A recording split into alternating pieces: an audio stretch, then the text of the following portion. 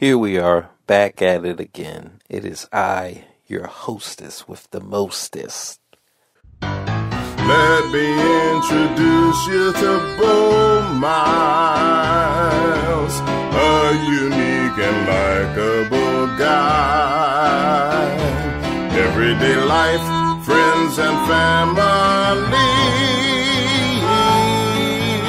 makes up the artist's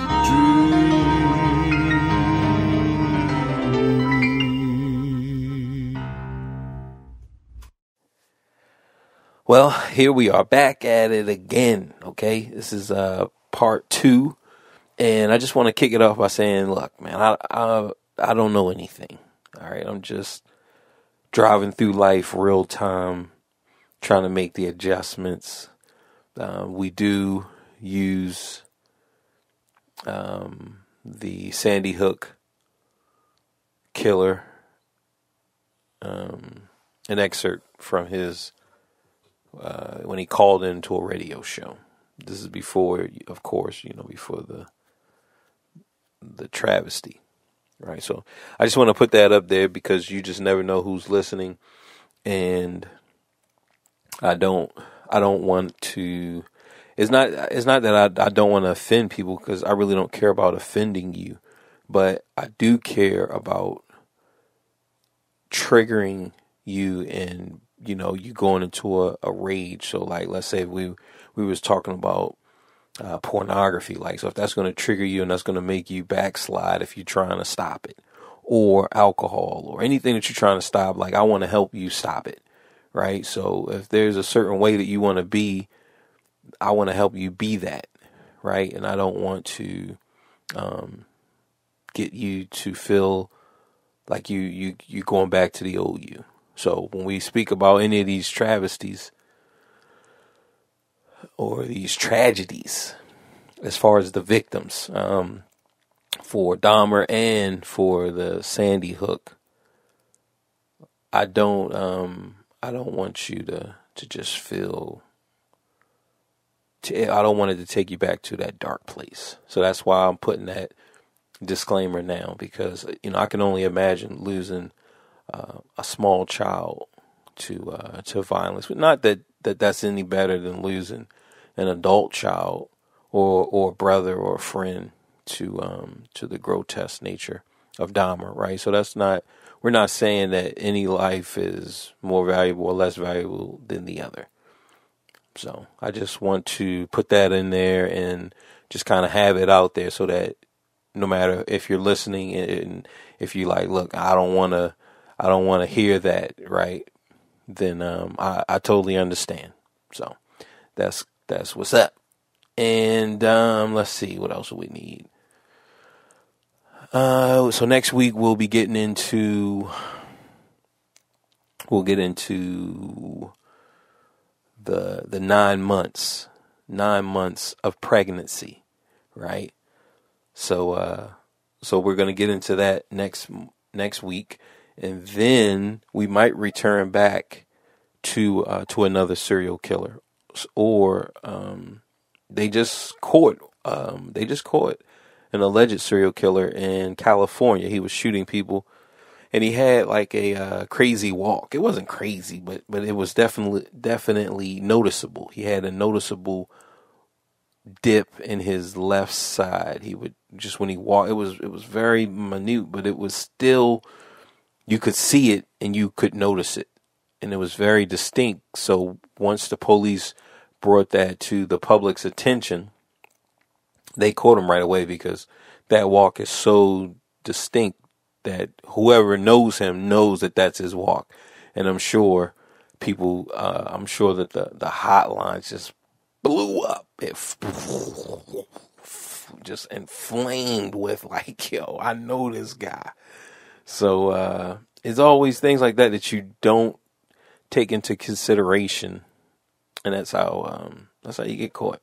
So we we may we may speak on people like that, which that's not really that intriguing to me. But what is intriguing is uh, the, remember I told you guys that there was this lady who killed a guy. Uh, so she was a sex worker, and this was in Charleston, West Virginia. I'm gonna find her. I want to talk to her, and I want to find that guy and kind of go through his life and see if she was his first victim right? Was was she his first victim that he was going to begin this reign of terror, or was she just the victim that killed him? So, well, we we might get into that as well. I, know we are going to get into that. I just don't know when, but uh, but we're definitely going to to get into that. So, um, let's go ahead and jump into this this uh, Dahmer episode.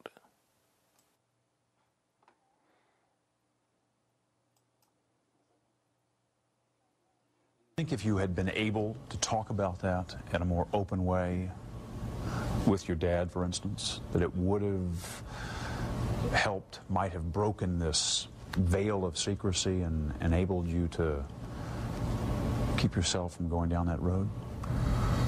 Uh, I don't know exactly what, if anything, would have kept, ever kept me from going down that road. Talking about it, I don't think would have made that much difference. Because, like I said, there were things going on in my head that uh, I would have never opened up and talked about with anybody.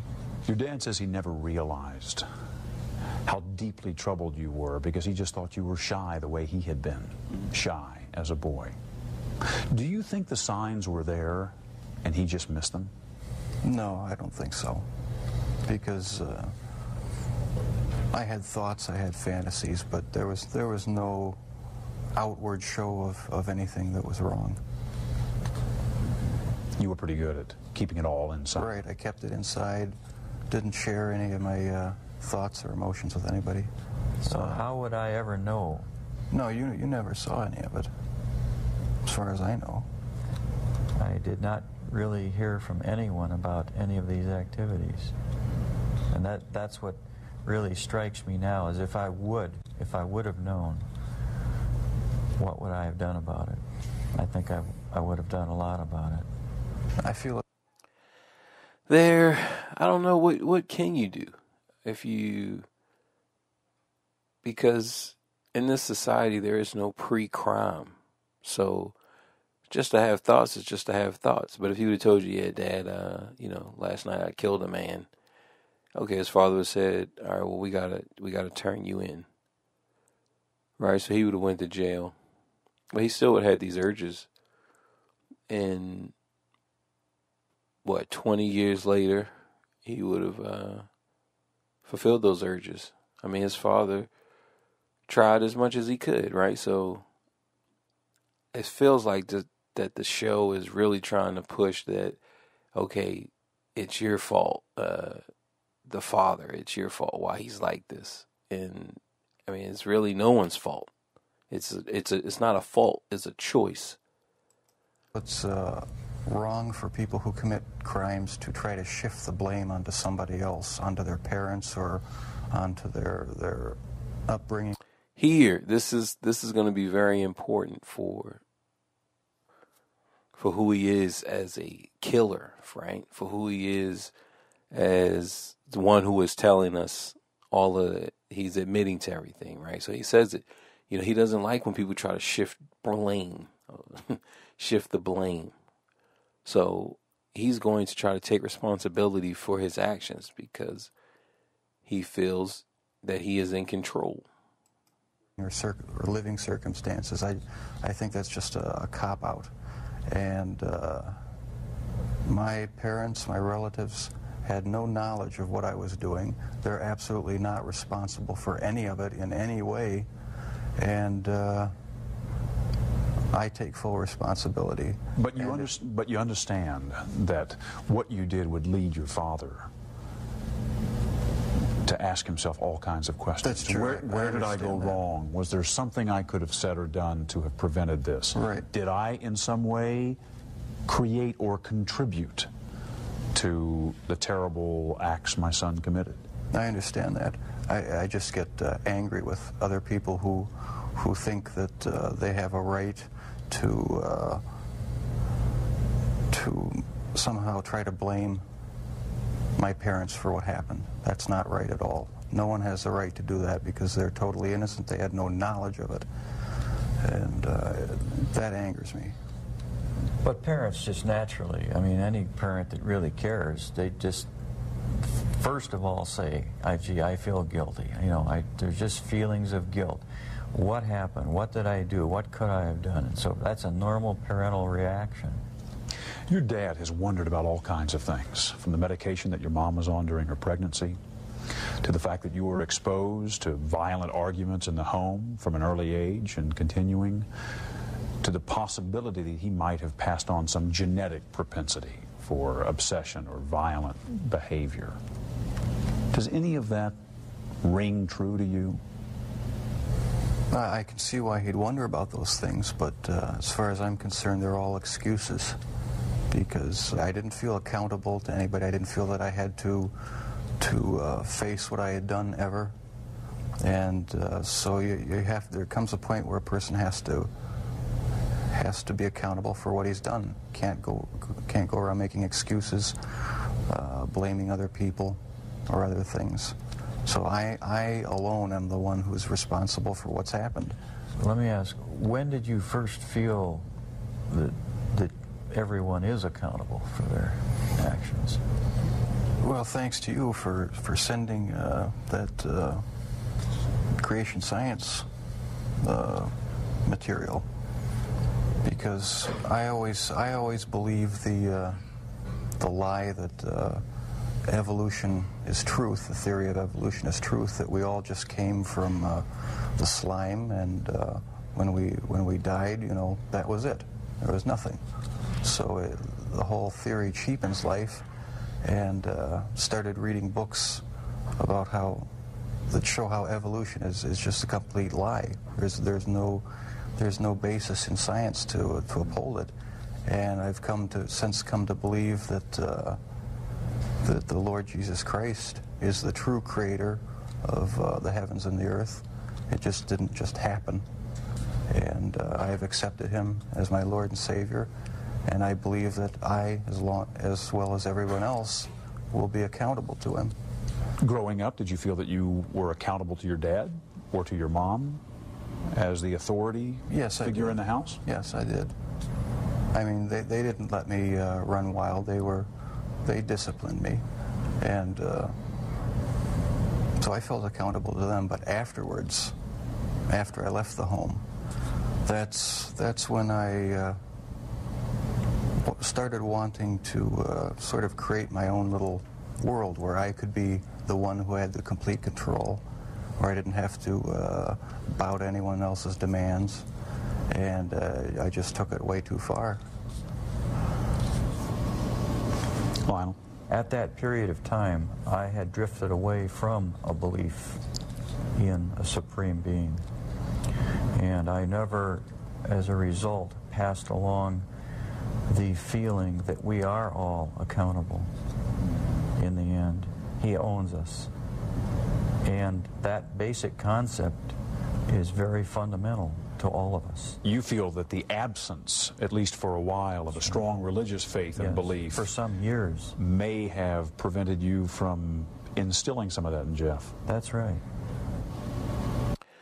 Now here, this is uh, this is very interesting because now we're talking about belief in a higher being as it relates to to murder. Right? You are a murderer. The father is still trying to figure out what went wrong and and he's he's honed in or he's like grabbing reaching for well maybe it was religion. We know that um that the mother was fairly religious. The mother went to church participated in church activities and knew the church community. So we're talking about Dahmer's grandmother. So we know that his father kind of stepped away from his religious upbringing. But in this attempt to understand his son, maybe maybe the mother, maybe anyone else said, well, if he if he was in church, he wouldn't he wouldn't have had time for this, right? He wouldn't have had these thoughts. He would have so here we're again we're just shifting the blame, okay? But ultimately like Dahmer made his decision. Like he had his fantasy. He was on a painting. His painting was that of a serial killer. Now, when we talk about that, just serial anything, because serial behavior is human behavior. I mean, if you guys can think to anything that you can have been obsessed with. So I can't speak on being obsessed that the that the door is locked, right? Or that um let's see, robbing a store. Right? These are things where it's it's outside of us. Now we know that you can develop a desire to constantly lock the door, constantly check and make sure the door is locked. You can develop this urge to constantly rob a store. Mainly is based on the money. You need money, you're about to run out, you have to rob a store, you have to keep going. So we can understand this um, school, we can understand if you're doing well in school that you want to maintain. Uh, if we look at games, so we can we can look at different things in our own life where we have this compulsion to do, but but there I would I would like to turn to the sexual drives and the urges because his killing is going to be with that. It's going to be synonymous with that. It's going to, like I said, a lot of these guys it's uh, both of these urges drive on the same highway, so they become one, and and you you can think and you can remember those urges that you've had, where it's like, man, you know, I really want to do this, and I think that's where that's where it lies. But the actual killing like I said, as far as religion, they're just trying to guess and say like, all right, well, if we would have, if we would have just had you in sports, if we would have just maintained you in sports, then you would have had to just focus on sports, right? So, I mean, I, I definitely can see where where that argument lies and where I can go to those things if it was my own son. I can say, well, man, you know, we just, you know, I tried to keep you busy. I tried to keep you occupied so that you didn't have time to dwell in those thoughts. But what we're saying when we say that is that it can happen to anyone. That's what we're saying. We're saying that if any person is left alone to his thoughts, he might end up killing somebody. And that should be the question in itself is why? Why do we believe that if we're just left to our own devices, if we're left just to our own self, that this will always happen time and time again? Why is that? Why is that? Is that how you feel? Yes, I I think I had a big, uh, big part to do to do with it. I mean, uh, if, you don't, if a person doesn't think that there there is a God to be accountable to, then then what's what's the point of of trying to uh, modify your behavior to keep it within acceptable ranges? That's how I thought, anyway.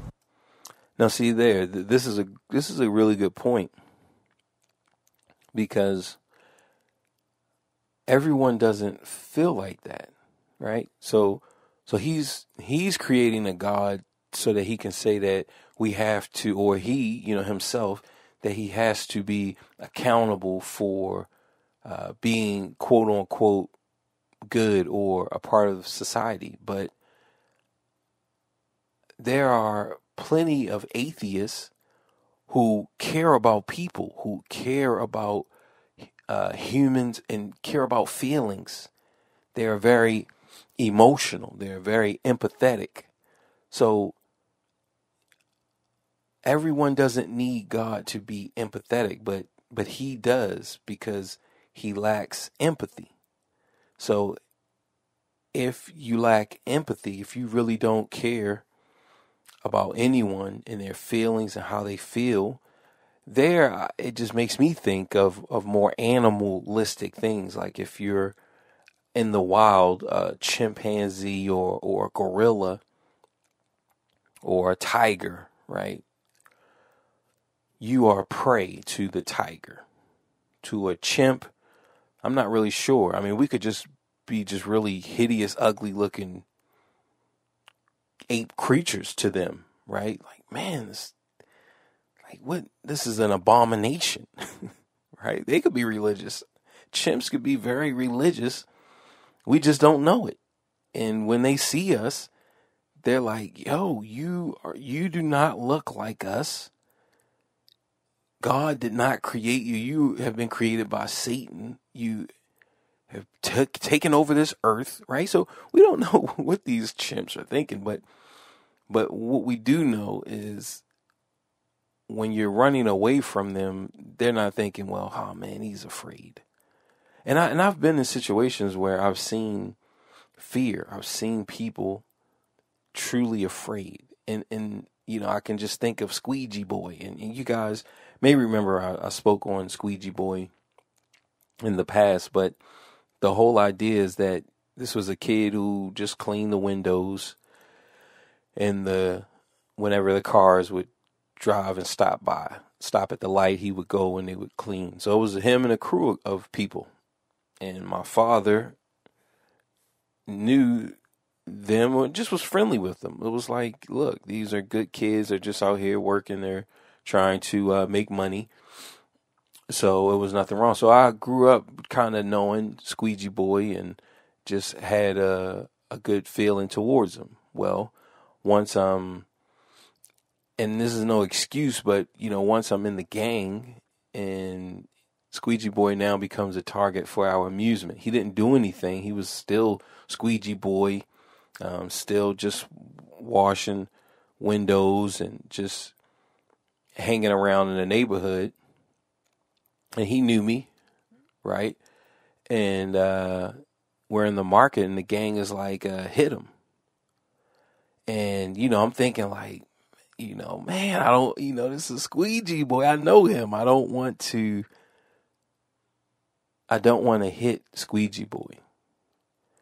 You know, so they're like, you know, hit him, hit him. So they just egging me on, and then I hit him, and you know, a little bit later, probably a month, two, three months. I'm not even sure how long, but at some point, I just I see him, and he just you know he takes off running, and uh, and that just that really devastated me, just because it's like, man, I, I just don't want I don't want people to feel like that about me because I could relate to him that that look of horror, that just that look of just man, I'll never forget that look, and just seeing his face, that was enough for me to be like, no, man, I'm, I no, I can't uh, I can't do this. I just can't uh,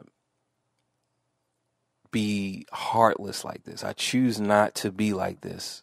I'm not going to attack people that I know, people that haven't done anything to no one. They're just out here chilling. Like, no, I'm not doing that. Right. So even as a gang perspective, it's like, yo, man, we we can do better than this. Like, come on, man. There's there's ops out here. So we don't need to prey on the innocent. So so I felt that just looking at his face, like, man, no. Right? even before before that because the whole gang is trying to purge these thoughts and these ideas out of you. And a lot of serial killers and there are some we'll we'll get into it because I, I, think i like this space. Um, so we'll hang out around here for a little bit but uh, one serial killer talks about how he went to rape a woman and he was a kid. I want to say he was like 14 and uh, we'll we'll say his name and all of that like as as we need to like because we'll we'll touch on him. Um but he was uh like 14 13 or 14 going to rape a woman and he went to go rape her and she was uh you know pleading with him and just telling him like no and just appealing to his more human side. And to hear him speak on it when he talks about it he he's like, yeah, you know, I I didn't I didn't rape her, but but I had to overcome those feelings. I had to overcome that uh, that sense of no, this is wrong and this is you shouldn't do this. So he talks about like like I had to overcome that. So it just lets you know that he had it as well.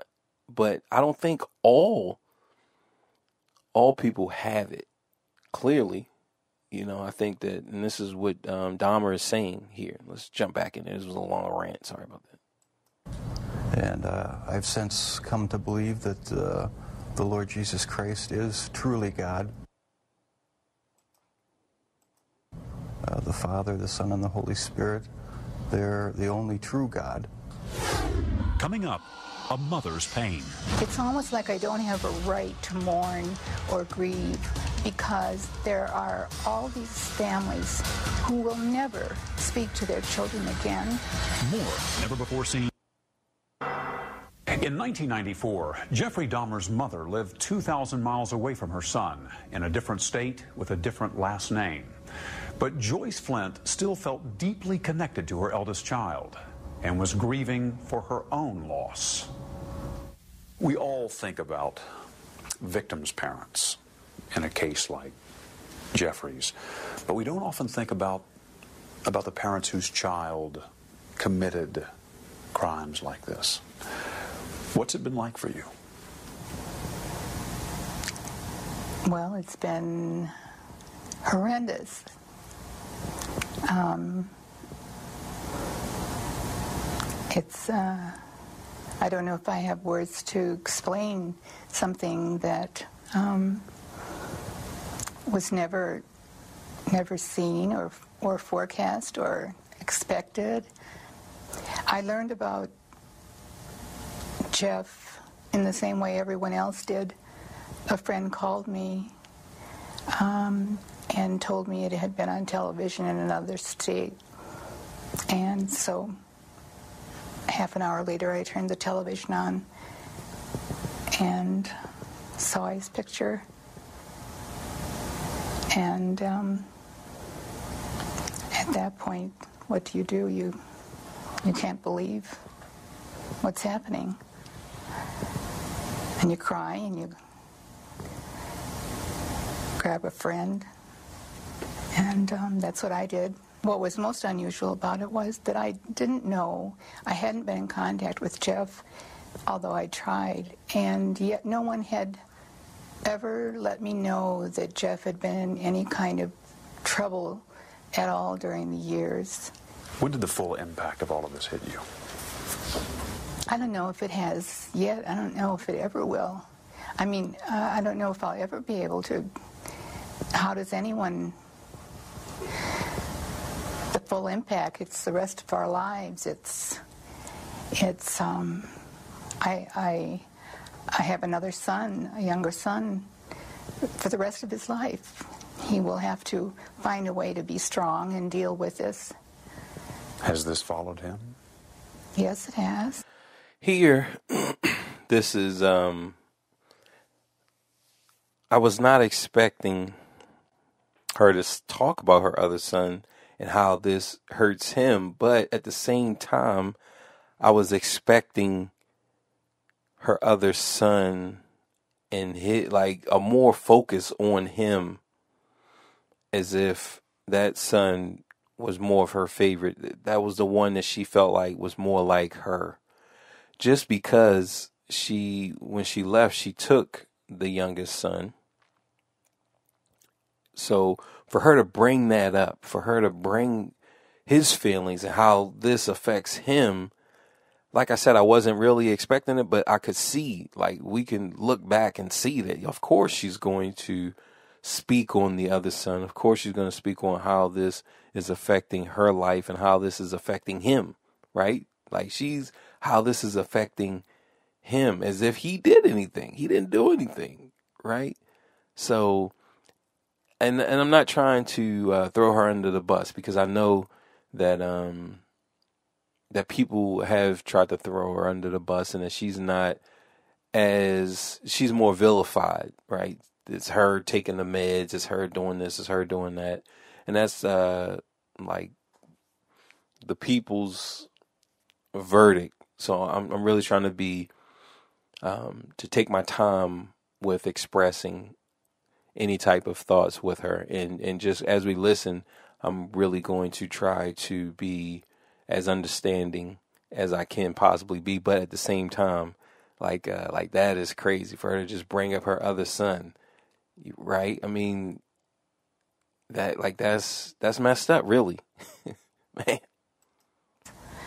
but he's he's doing very well. He's um, finished an undergraduate graduate degree and, and is working and and very successful and visits his brother. It's a very difficult thing to say. A stone. One of the hardest things for me to say is how much I can't believe this happened and how much I love Jeff when I'm very much aware that it's almost like I don't have a right to mourn or grieve because there are all these families who will never, ever speak to their children again. It's a very strange set of circumstances. I still have my son Jeff now to talk to. And we've established uh, a wonderful relationship, and I hope I don't hurt all of the people who've lost their children by saying that. What was he like as a as a young as a young boy before school? Wonderful. I thought he was wonderful. Um, he was fun. He we did all the normal things that people do. Um, it, it it's uh, it's hard. This is a this is a catch twenty two on the fact that like they're expecting signs to be seen, right? Just to ask to ask that question. But at the same time, she is trying to it's like both people it's like they're playing cards and they're just trying to kind of fudge reality so he has an agenda and she has an agenda but we know that the truth is not that because because she left him right and this is not to make her a villain. I mean, I'm not trying to say that oh, it's your fault. It's not it's not her fault. But for her to be like he was wonderful, like clearly he wasn't wonderful. Like clearly he wasn't. Because if he was wonderful, then you would always hold on. Well, I can't say you would always hold on, but I think that that wonderfulness you would as as you're remembering it now, you would remembered it then. So I mean that's all I'm saying. But I can't say what you should or what you would have done or would not have done. I can't I can't say that. Hard to be asked questions um, that go back thirty some years when you never expected that anything but good would happen in your family. Were there ever any early signs of trouble with Jeff? If there had, Looking back on it today, were there? no. What, what, what, what would you, what would you look for? I, if I'd seen something that had been a, a clue of any kind, I, I'd, I'd like to think that I would have done something about it immediately. No, there, wa- there wasn't anything unusual about Jeff. He was a normal young boy. Jeff's first grade teacher referred to him as inordinately shy and profoundly unhappy. He didn't seem inordinately shy to me. He seemed, um, he didn't like school. He had a very difficult year that year, first grade, moving from where he'd, uh, he lived. I was pregnant with his baby brother, so Did he seem profoundly unhappy? no. Well, he, uh, no. I, when you say profoundly unhappy, there, there wasn't any clue that there was anything other than this was a little rather shy child who had to go to school and mingle and be sociable, and that wasn't his thing. Coming up, more with Jeffrey Dahmer's mother. Telling you the truth the very best I can, there wasn't anything unusual. But first, his father looks deep within to see if he is somehow responsible for his son's crimes. The question is, why does a father murder in his dreams and a son murder in real life? Real life.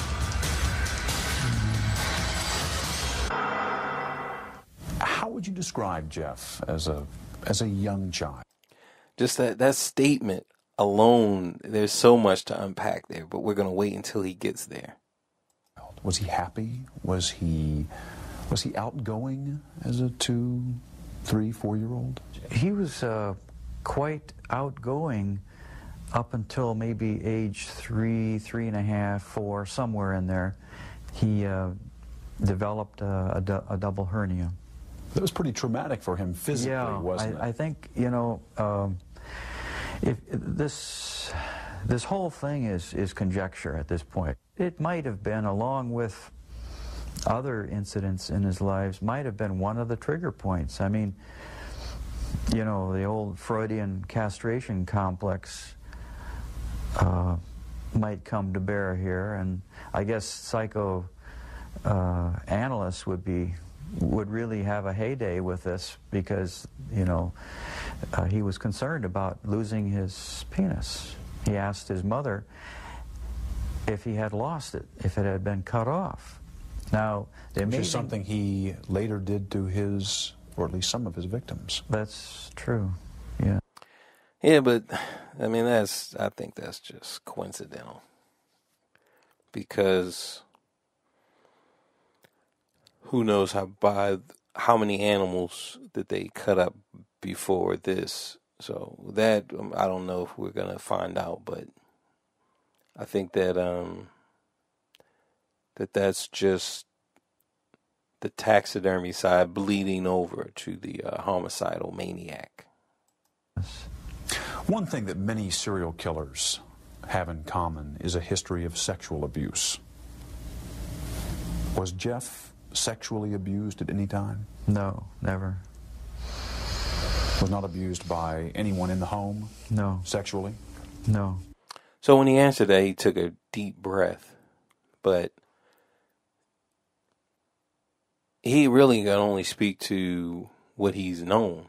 So he wasn't there all the time because him and his wife would argue and he would leave and then he had work that he um, kind of put himself into. So he really he doesn't know if that has happened and we can already see with once Jeff made the declaration of um, taking accountability, right? So he doesn't want anything. He doesn't want anything to to get in the way of his accountability. He his belief is he must be accountable so that I'm sure it works its way when he goes before Jesus and he's accountable. So it's you know, so it's it's kind of like um, maybe God can forgive him, maybe Jesus can forgive him, right? So um, that I don't know if we're going to get deeper into his religious beliefs that he's adopted, but it's a, a strength and an emphasis on being accountable. So if something like that happened in his childhood, he's not going to say it because then people would say, well, this is why. But he wants to be fully accountable and take full responsibility for his actions. He doesn't want any other thing to get in the way of that. So, like I said, the father here, he took a deep breath after he said it. I don't believe that that he did anything, um, but we don't know. We don't know, and like I was saying about that serial killer who had these rape fantasies as a as a child, he wasn't sexually abused. So we know that uh, Gacy was uh, Kemper. We know that he was uh, introduced to, to sex early. I know several people who was introduced to sex early, and and that's they didn't uh, become serial killers. So I mean, that was just where where I grew up. I mean, just you just introduced to it early. That's just what it is. So from firsthand uh, accountability, firsthand perspective, the only thing that happens is it's kind of like singing a song. I remember singing um, inappropriate songs, but they don't mean anything to you because because it's you're not you you still haven't had that chemical release.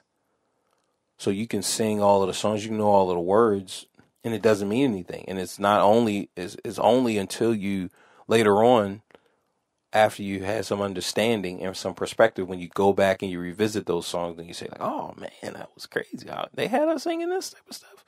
Right? So I think that has something to do with it as well. But I can't speak on everyone because, you know, I'm sure that some people, uh, even some of our listeners, have um, have had experiences that has traumatized them. So I can't say what can traumatize and what can't traumatize. But um, I'm just saying that even if that did happen to Jeff, to young Jeff, I don't believe that he would say it because he believes in responsibility that in choice and so for him to say that then people are going to um, push that narrative on him and he doesn't want that narrative so just like with the second murder he's going to um, he's going to say like, "Nah, nah, that didn't happen. I don't remember." Can you even begin to describe what it's been like for you as the parent of someone who has committed crimes of this nature? Well, it's been eternal torment. Uh, in the uh, privacy of my own uh, room, uh,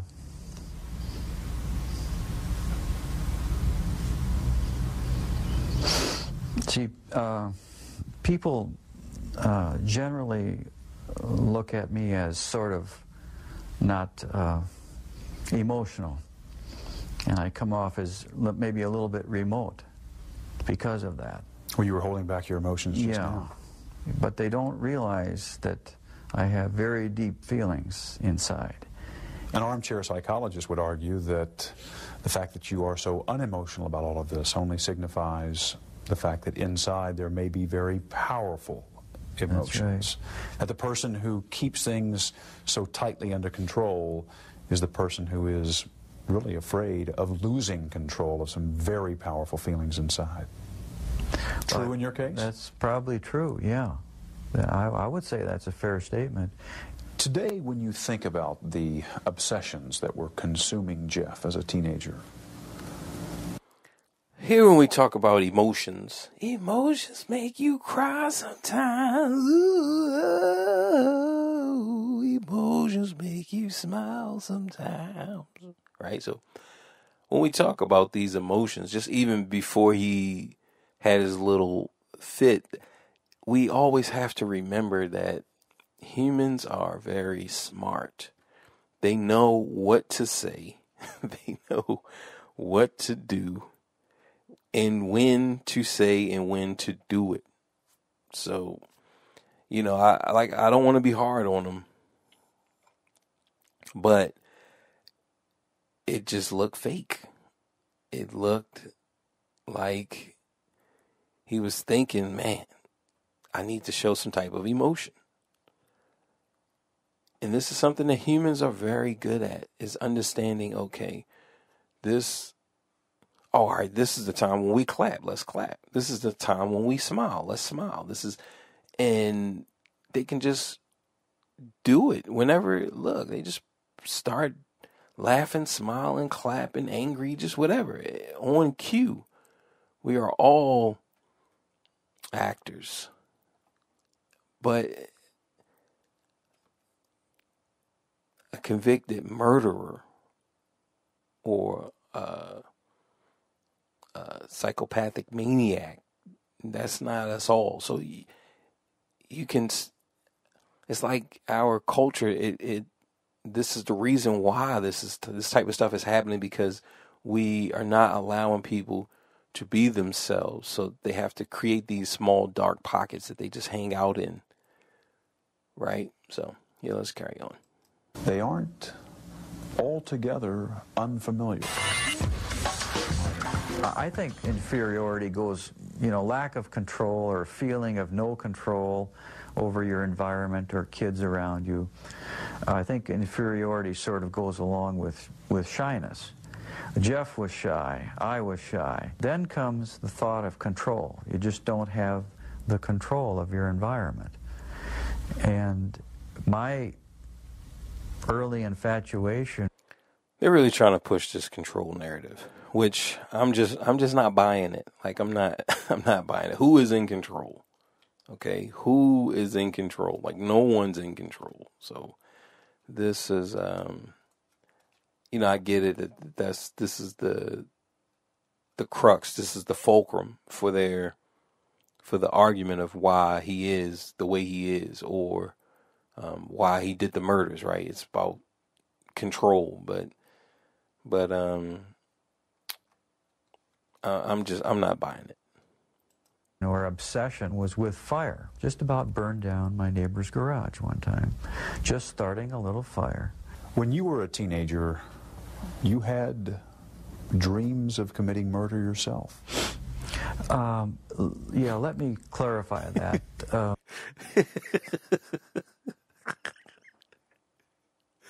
Oh man. he was like, he was When you were a teenager, like, oh, you had dreams of committing murder yourself.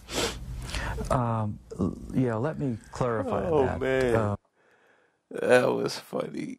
You just see his face. He's like, he's like, oh, hold up, let me let me clarify. You, You had dreams of committing murder yourself. Um, yeah, let me clarify that. Um, Please. I Oh, was shy and, you know, uh, felt uh, lack of control. That's funny. You guys, you gotta watch that. Just type in, go to YouTube and type in Jeffrey Dahmer, Confessions of a Serial Killer. You you gotta watch how he responds. Like just how he, he's trying to jump back on. Like, oh, hold up, hold up. Dreams of committing murder yourself. Um, yeah, let me clarify that. Um, Please. I was shy and, you know, felt uh, lack of control and so forth, and I was bullied. Okay, there were a lot of bullies in our neighborhood. And uh, almost always after I was either physically or in some Oh man, this guy's laying it on. He's laying it on thick. Like man, so yeah, dreams of murder. yeah, dreams of murdering women, but you're being bullied by boys. Like, come on, man. come on, like, come on. That is uh. I feel him though. You know, he like, yo, man, this is this is being recorded. Like, yo, let me, uh, let me, let me hold up. Let me, let me tell you why. Okay, there were a lot of bullies in our neighborhood. And uh, almost always after I was either physically or in some other way harassed by bullies, I would wake up, say, the next morning or the next or the morning after that, shortly after that, and I would I would for just a um, say about 30 seconds or so have this feeling that I was that I had hurt someone, that I had maybe hurt them badly, that I had killed them. But it was it was a vague sort of a feeling, and it happened just every so often, and after attacks by uh, neighborhood kids. The question is why does a father murder in his dreams and a son murder in real life? Real life. All right, so this is. uh I know he's glad that I wasn't um that I wasn't interviewing him because I definitely would have laughed at his face. He'd have been like, "Man, I'm, I I can think about killing you, dude." Like, yeah, man, whatever. but um, he he doesn't have emotions, right? Or he's he's worked on um, controlling. Remember we talked about that uh, rapist at you know 12, 13, whatever. That he had to overcome his emotions. He had to overcome those human uh, emotions. I feel like Jeff's father has to overcome those emotions, and and this isn't a bad thing because I feel like um, uh, it's not even that I feel like, but if we look at World War Two, right? So World War One, the American soldiers did not shoot,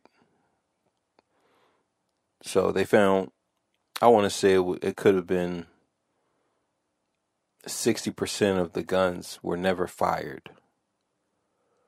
So, to when World War II came around, that's when they developed this training to where it would just be automatic. You and this is what we have today. It's a training that to make killing automatic. And if you have participated in any sport or anything, then you know um, that you can be trained to to just do. And your body just goes through a set of motions and a set of actions. Just like driving. When you first start off you're thinking about everything. But once you become uh, proficient you only think about what you need to do. And you just think about oh man what are we going to have for dinner? You just think about whatever. And your body on a subconscious level will perform all of the activities. So if we look at that with war and taking human lives, I think that all right, World War One just showed that okay, we it showed that look, we could lose a direct war with the people that we have right now. And that was adjusted. So these type of so the feeling to to just be able to do that, it needs for most people, it needs to be cultivated in most people. You need to gradually get a person to where they no longer care about human life or like driving, their body just performs. The body just performs the activity, and the mind is free to think about Seinfeld or the Simpsons reruns, or I wonder, I wonder what my girl is doing share while I'm out here fighting the the enemies. So, but I, I believe that he has definitely he has definitely mastered this and that I don't know if if it was always in him or if you know like that I don't know, but but he is definitely um, he could definitely uh, have been a rapist slash killer if if he truly wanted to be. Because remember it's still choice. So you can have you can have the fastest car and never race anybody. Look i just have it because i want I have this is what I want. I want this car. I worked hard for it and I use it to to drive the speed limit. And I drive just like anyone else. So I'm not really I'm not I'm not out here racing people. So you could have something and not use it till it's to its full potential. But some people, most people who want certain things, they want to use it, right? So um, who knows why he felt like he had to develop this, right? I look, no, I can't I can't care about people. And and I know situations that I've been in where I felt like that, right? So I don't know why he developed this skill, um, but he has it. In mentioning these things and writing about them in your book, you seem to believe that you may have passed on some kind of genetic propensity for obsession or destructive behavior. That that might be one factor in this puzzle of why you're. So before he answers, just based off of his, uh, let me let me clarify. And he try to build up this. I need uh, I needed control, and you know I was being bullied, and you know so just based off of that, it's because. I mean, he wrote something down, but to hear it coming from somebody else's mouth is like uh, now he gets to hear what it sounds like in other people's heads, and he's trying to do damage control. So uh, it's going to be interesting to see how he um, sugarcoats this. Look, I gave I gave this to my son, right? So let's see, let's see how he uh, how he dances with this one. You ever dance with the devil in the pale moonlight? Son did what he did. it's something to be considered, you know, in the broad spectrum of possibilities. The, the problem with just calling it genetic predisposition or genetic predestinarianism is that it's not really um, scientific. It's not true uh, with respect to personality. But it's being investigated. What led him to cross the line, to go over the edge? So here, this is something that he wrote in his book. He wrote that maybe I pass this on. Right?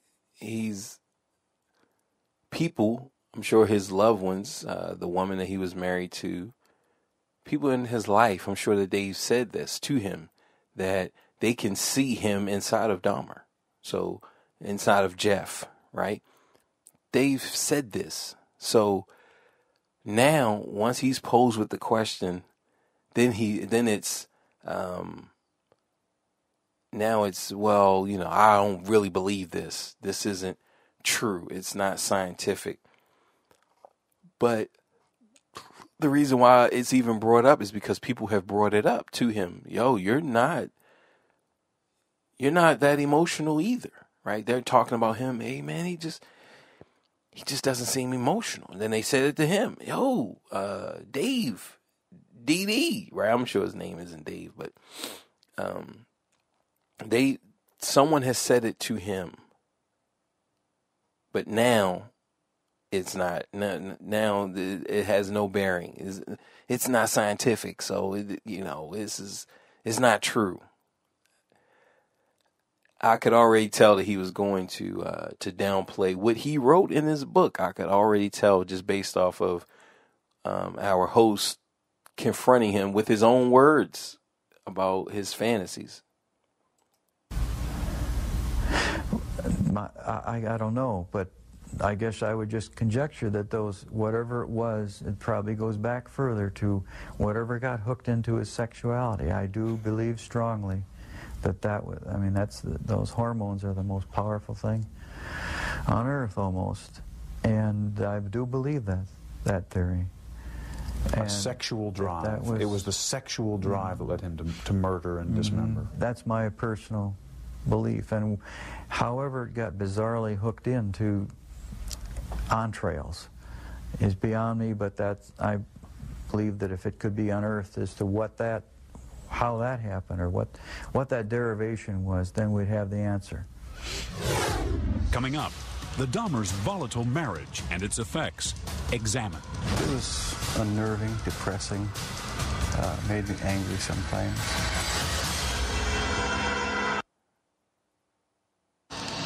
It was his first and last network television interview. Serial killer Jeffrey Dahmer talking about his horrific crimes and trying to figure out for himself why he had such a compulsion to kill. Much had been made of the home environment in which he grew up and the marital strife to which he was exposed throughout his childhood. Could he have been so affected it would later drive him to commit unspeakable crimes? Dahmer had strong feelings about that. What do you remember about your parents arguing when you were growing up? So his father name is Lionel. So Lionel, Thundercats, Thundercats, oh! And what effect that had on you? It was it was unnerving, depressing, uh, made me angry sometimes. I'd leave the house, go out in the woods, and uh, sulk, brooding, you know, wondering why they had to uh, have such a rough relationship. Uh, most of the time, they didn't seem to get along too well together. I never knew what the real, real underlying problems. were. Now, he has shown empathy for his for his family.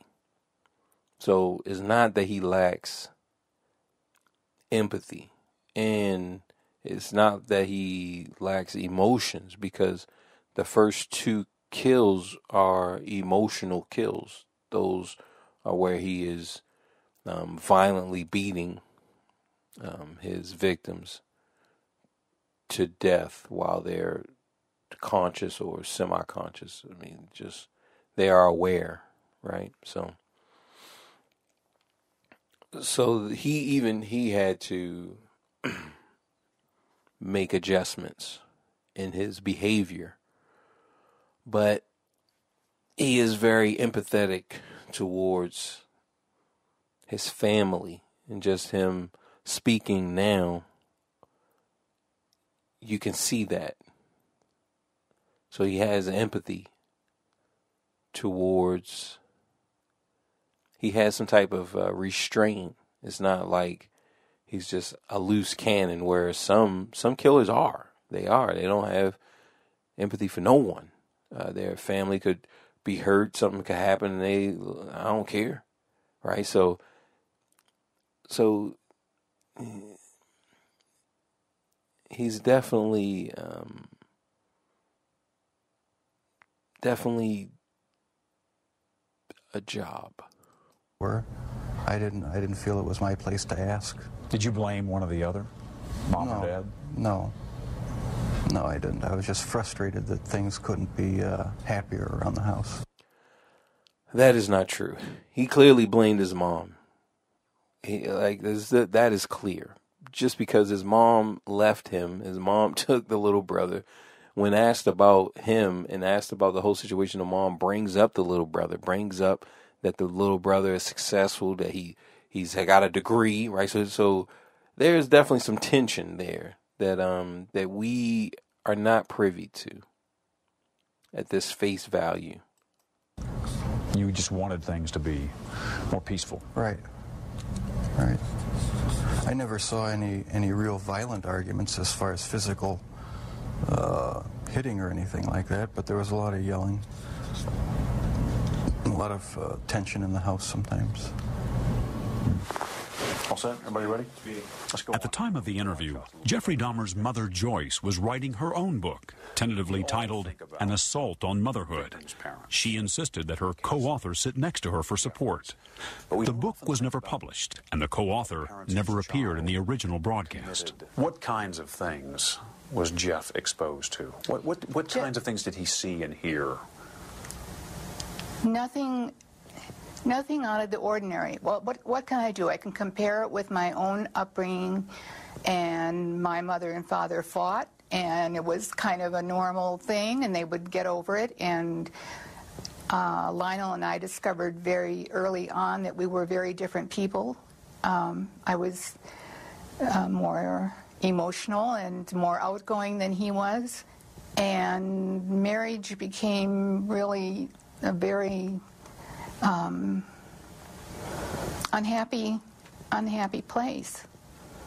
And how much that affected um, the children at the time See, even there, even here, she wants to, she doesn't want to just single, single out or really bring emphasis to Jeff. She wants to group them. Okay, this wasn't just affecting Jeff, but remember, I have another son, so there's definitely something there. I, I didn't think that it affected them in any really harmful way because they were never uh, uh, physically abused. There were very heated arguments. We, And on occasion, that would lead to some, some physical. Excuse me, Stone. You need, if you want to stop a minute and think about whether you want to talk about that abuse on how am I going to know what's going to be on television and what's not going to Stone be? to help Well, her on well. account. I mean, I think you should. I think you need to assume while. while Oh man, this.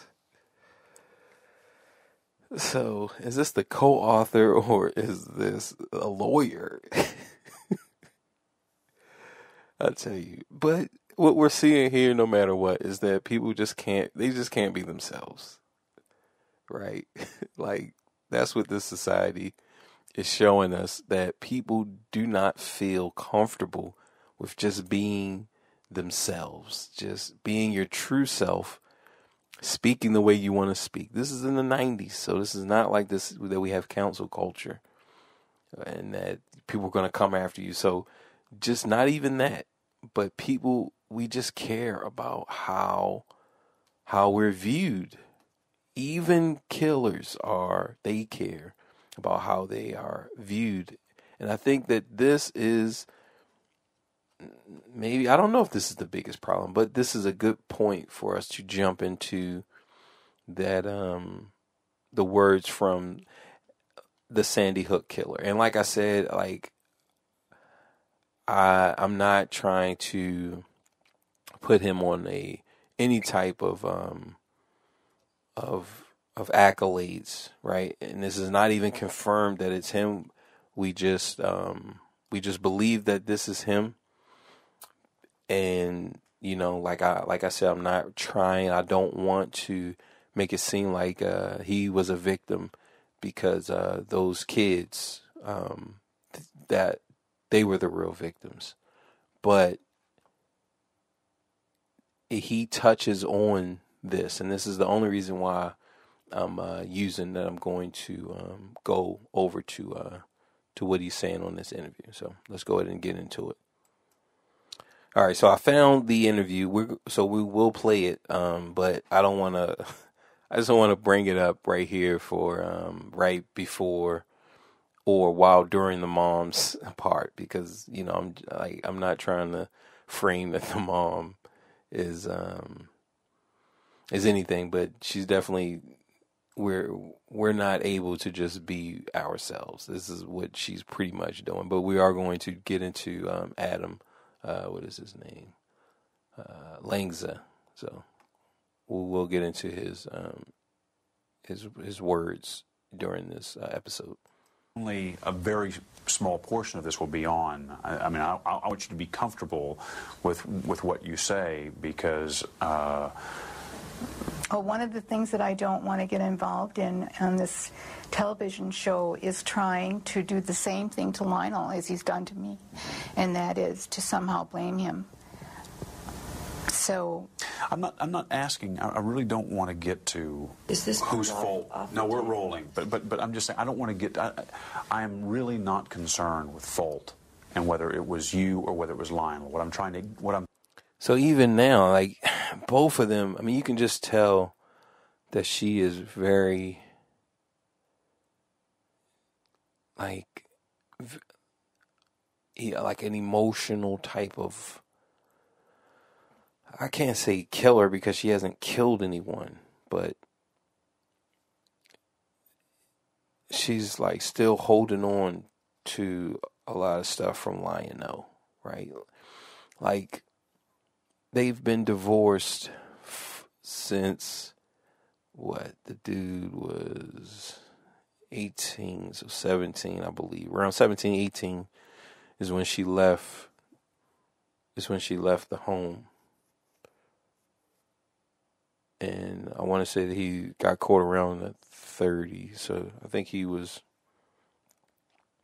um, safe to say like almost 20 years but yet this anger and this this deep emotional attachment to Lionel. I mean, it's very it's very apparent. she says, "You know, I'm not trying to do what he's doing to me," but I mean, it's uh, it's, it's very interesting to say the least trying to understand is what was going on between you for whatever reason. For, for I, am sure both of you brought something to the table on that. That's usually the case in a, in a, in a marriage situation. My question is, what kinds of things, what do you recall about the kinds of things that were happening between you that Jeff may have been exposed to? And to the, and, and, to the extent that there is some question about, about the kind of emotional uh, uh, uh, turmoil that might have caused him? Stone, I, I have to tell you, I've thought of that over and over again, and there's nothing about the kind of arguments, uh, the kinds of fights we might have had, the disagreements over how to bring up children, the um, uh, there was nothing unusual about that. So here we we get a taste of one of the main arguments was how to raise a child, right? So that that implies that one or the other was not satisfied with what they were seeing. So, I mean, they're trying to paint this picture as if oh everything was all good and we you know there was no issues there was no this there was no that but but clearly there was for the simple fact that she's saying that you know we had arguments about how to raise the children and she takes one right so this is just this is showing us even though they don't want to tell us but this is actually showing us that there was I can't say that there were signs because you you never think that someone that you know is going to murder someone. Like even my cousin, I have a couple of them, but one that I grew up with that's very close to me. You know, when he murdered two people, like I, I just can't. It's nothing that in his childhood is going to be like, yo, that's when I knew that he was going to be a murderer. Like, nah, nah, it's nothing there, right? But clearly there was something here that they could see for them to have an argument for her to leave Jeff and to actually take the brother. Right now, like I said, it doesn't mean that, that they could see murdering, they it was definitely something there. And they argued about it. I mean, this is what she's saying. And and Jeff is not the result of what is going on in every home in America. He's he's I, he's not the result of that. So you, you're saying it, it wasn't a perfect marriage. You're saying, but it it was nothing so extraordinary that that it could explain no, in, why he went on to do what he did. Absolutely not. Telling you the truth the very best I can, there wasn't anything unusual.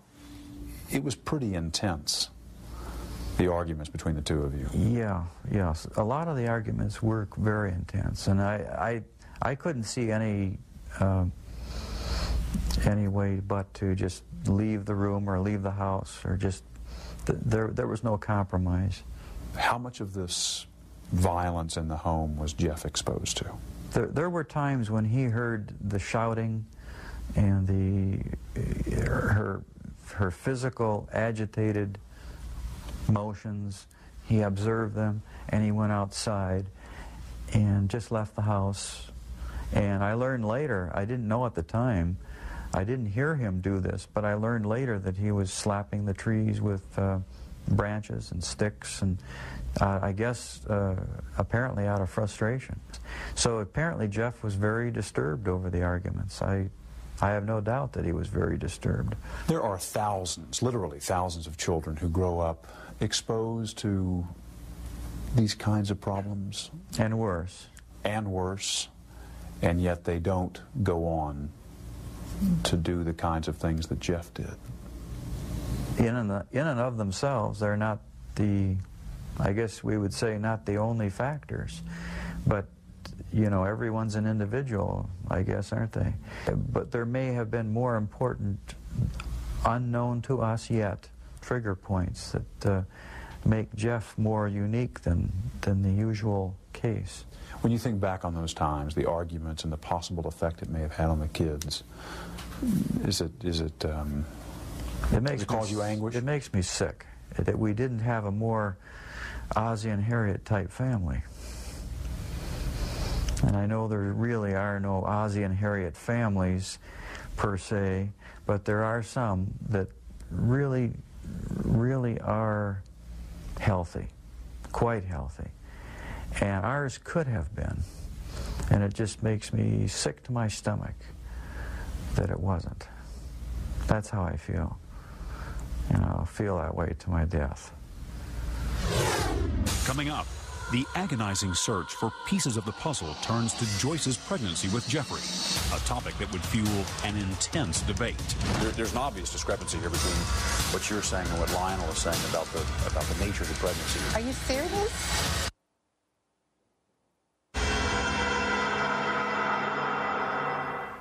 By all outward appearances, Jeffrey Dahmer seemed like a normal boy growing up. So how did he become a serial killer? The search for the root causes went all the way back to his mother's pregnancy. Both of Dahmer's parents said it had not been an easy time, but during separate interviews with each of them, that was about all they agreed on. All right, so what we have is we have, what is it, about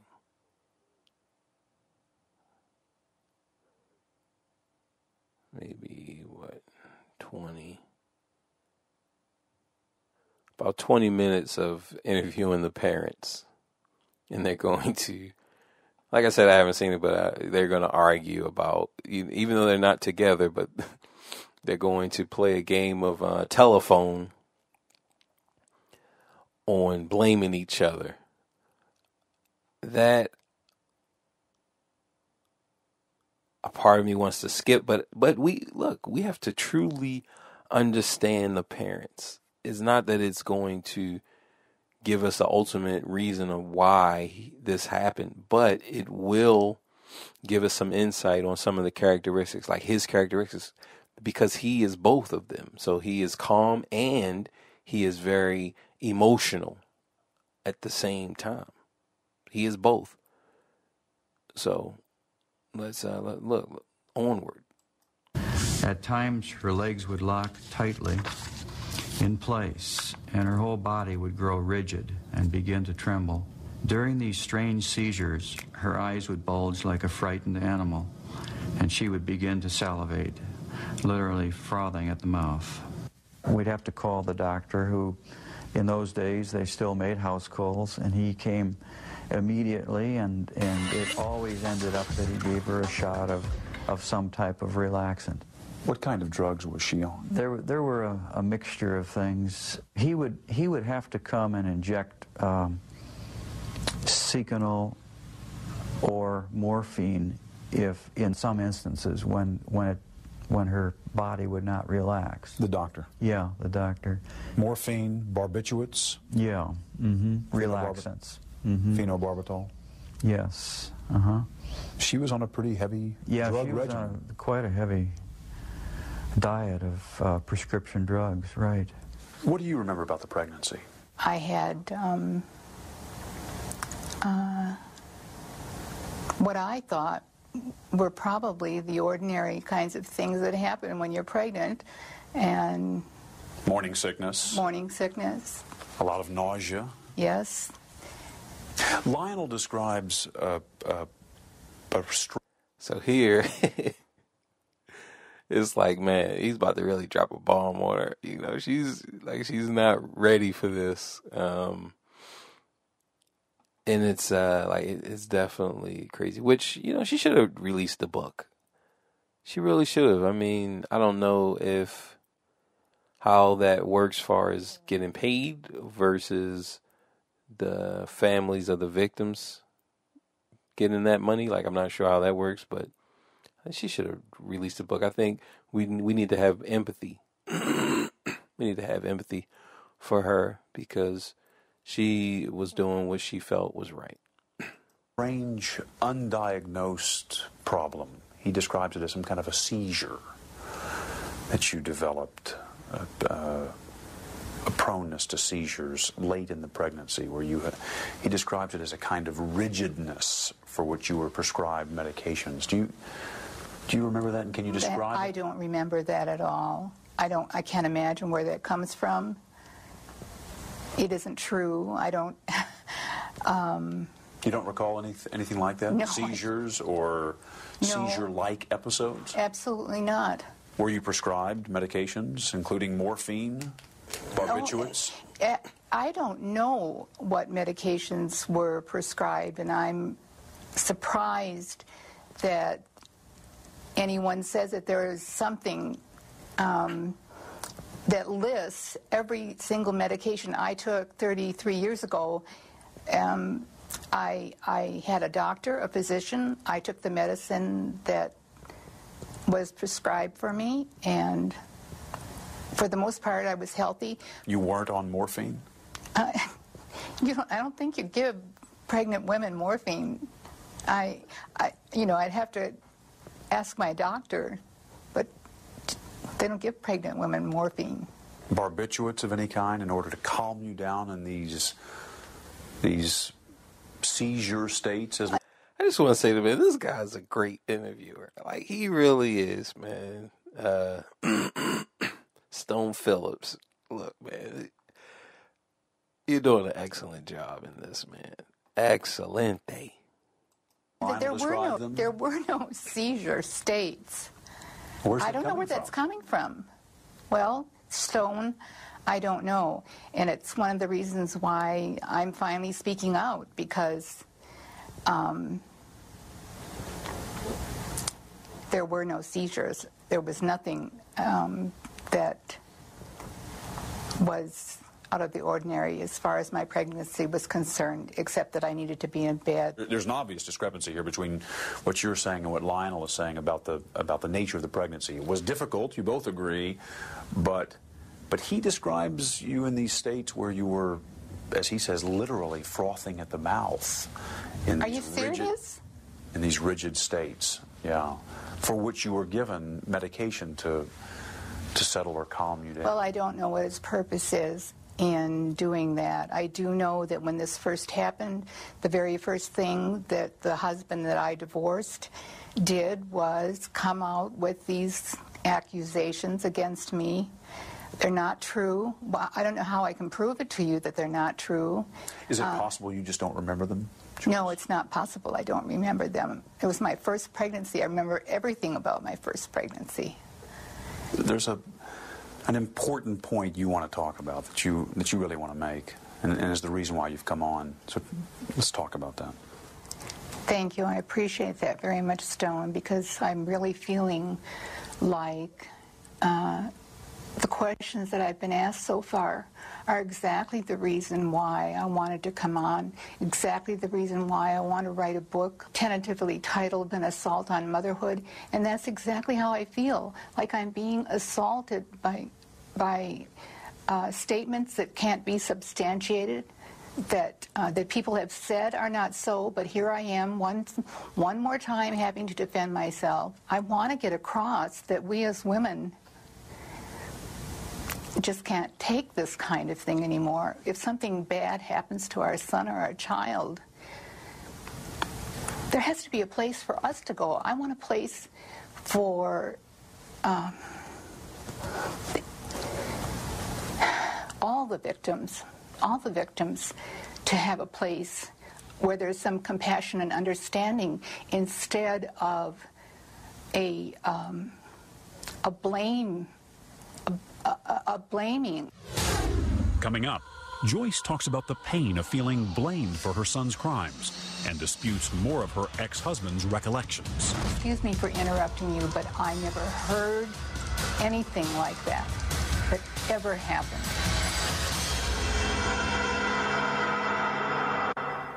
In 1994, Jeffrey Dahmer's mother, Joyce Flint, was tormented, feeling unfairly blamed for her son's horrific crimes.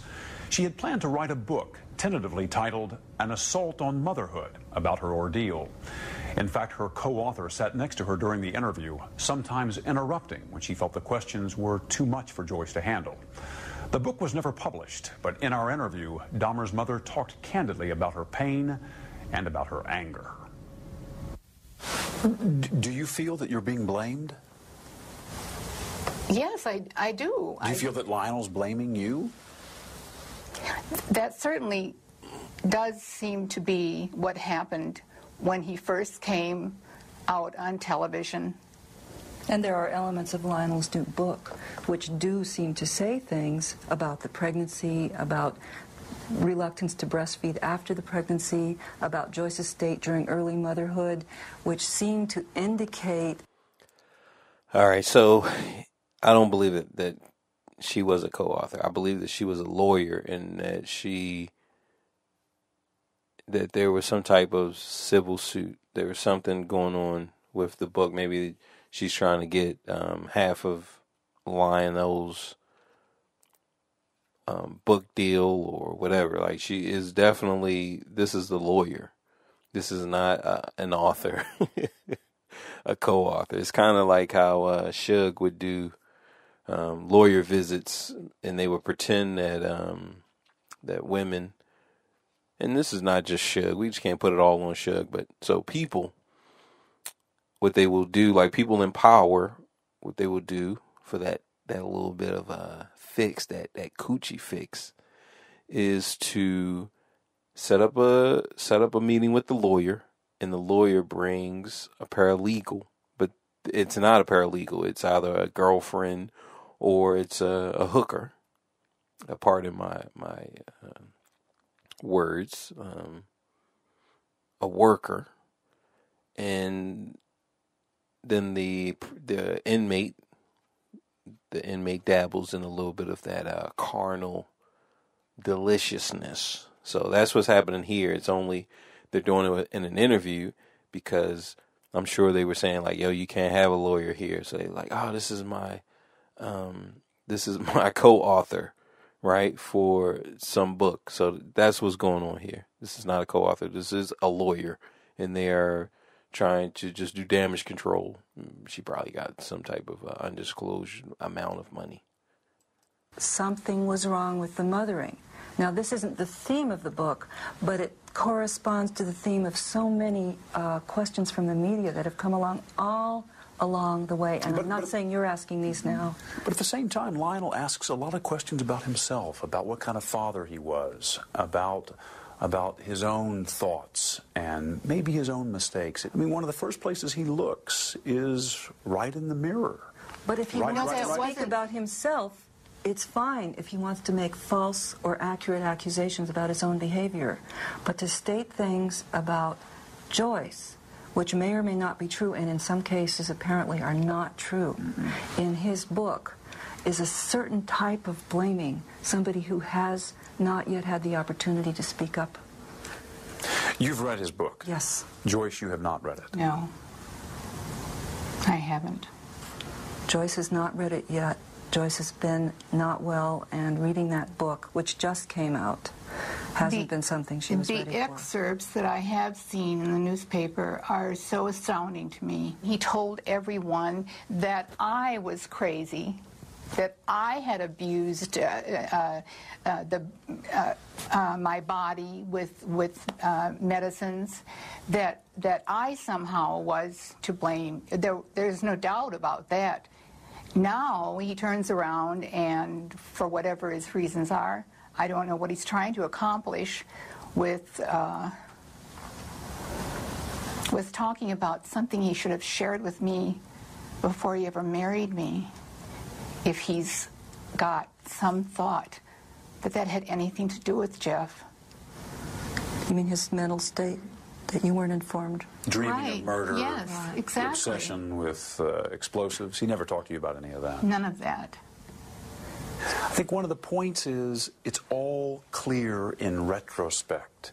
I mean, he, for instance, one of the anecdotes that he tells in the book, Joyce, is when Jeff was four years old and he had crawled, Lionel had crawled underneath the house to remove some dead animals. And he put some of the bones from the dead animals into a bucket. And Jeff, at age four, probably innocently, went over and was playing with the bones and seemed fascinated That with these, absolutely with these bones. astounds me. Excuse me for interrupting you, but I never heard anything like that that ever happened. You see, you're doing a television show, You don't- show prompted by a book which was written, which apparently is one parent's story, which doesn't jive with the other parent's story at all. Which is why we're here. Right, Which and is this is exactly why why we're- we're here. we're now- that we're kind of an anecdote. now, do you? you- That, and- and now- now as let me- far as I know, that never happened. That that sounds like the shows that that that people go on and talk about um, children mistreating animals, and can you predict uh, who's going to do something terrible uh, somewhere down the line in his life? Jeff's condition was proven to not have anything to do with his upbringing. I don't want parents frightened to death thinking that the little things they do or the little things they miss are going to result in them having a child that is going to cause all of this pain and anguish. That isn't the way it happened. In my mind, you cannot tell how certain actions or reactions are going to be computed in a child's mind. Uh, so the first thing I thought about was, was he, was he emotionally, did, did he, he come out of this life with us emotionally disturbed in some way? He didn't. I've asked him. Some people would say that someone who had committed such horrible crimes must have had something horrible happen to them. You're saying just didn't happen.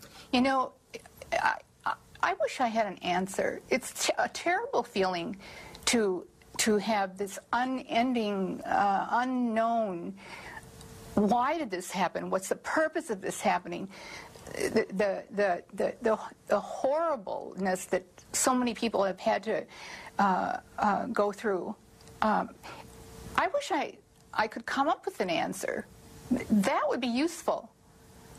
It isn't useful to speculate uh, on what small, tiny little things did we spank our child, and, and that turned him into a as they called me, a monster maker. Jeff was raised with all the love and care and concern uh, that any child could be raised with, and what happened to him? I don't know. I wish I knew. I'd give anything to know.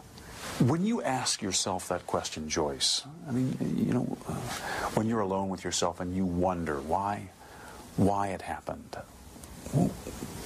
what answers do you come up with? What questions do you have about about the origins of his his madness, if you will?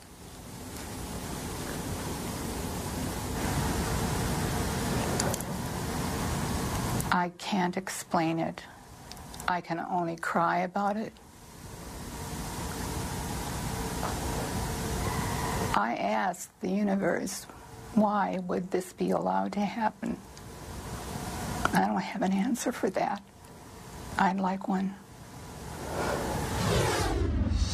Coming up, could Jeffrey Dahmer have been caught years before his arrest? I didn't know what would happen. I thought, know, it's all going to come crashing down now.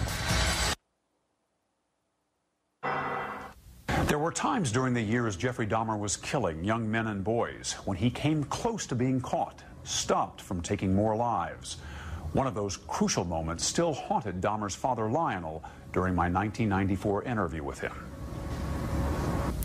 In March of 1989, you were helping him gather up his belongings, going through his room, and you came across a box.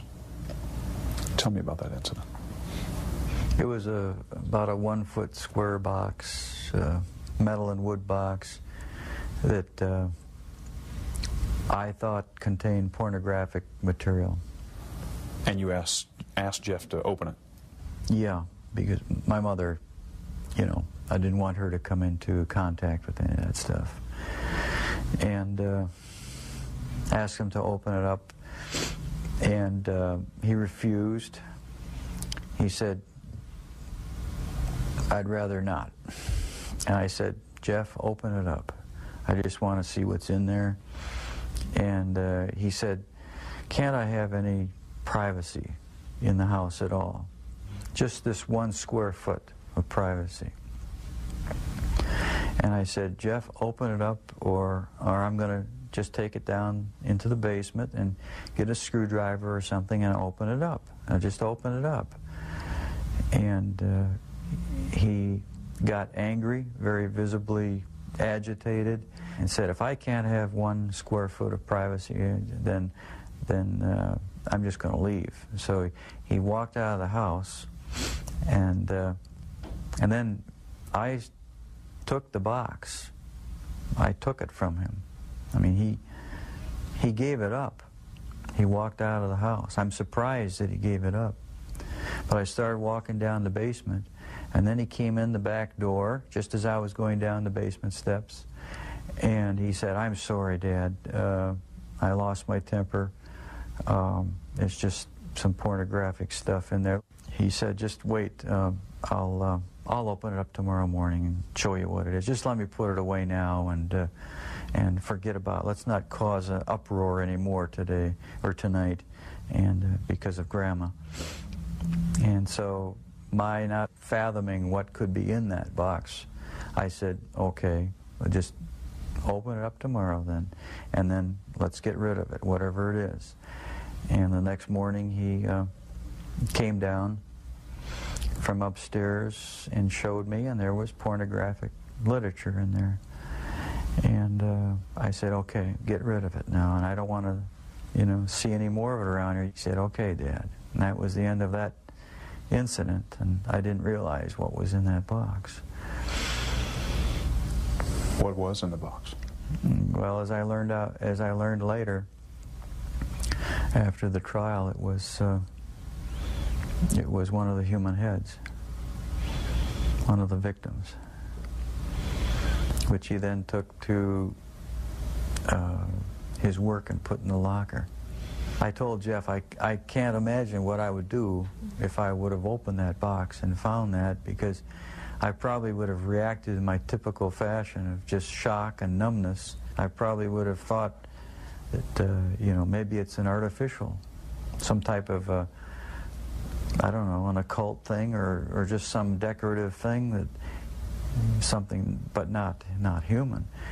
I can imagine I would finally realize or suspicion what that is.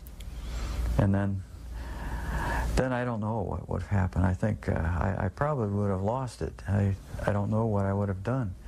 I asked Jeff, you know, what would he have done if I would have found, if I would have opened that up and found out what that was.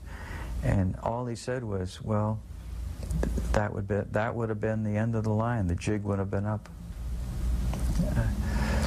One of the one of the chilling stories that your dad tells is about the box he had found. Can you give me your your perspective on that? Uh, I had a box in my uh, bedroom closet, and uh, it it uh, contained uh, the mummified head and and uh, genitals of a young man I met in one of the bars down in Milwaukee, and it was a locked metal box.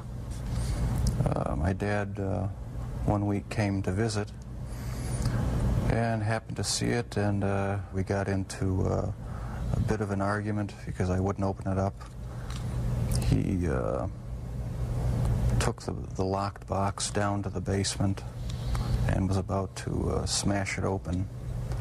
What, what were you thinking as he was making his way downstairs to open the box? Well, I was outside, and I was thinking I've got to stop this from happening. Uh, I didn't know what I'd do or say. I didn't know what would happen. I thought, you know, it's all going to come crashing down now.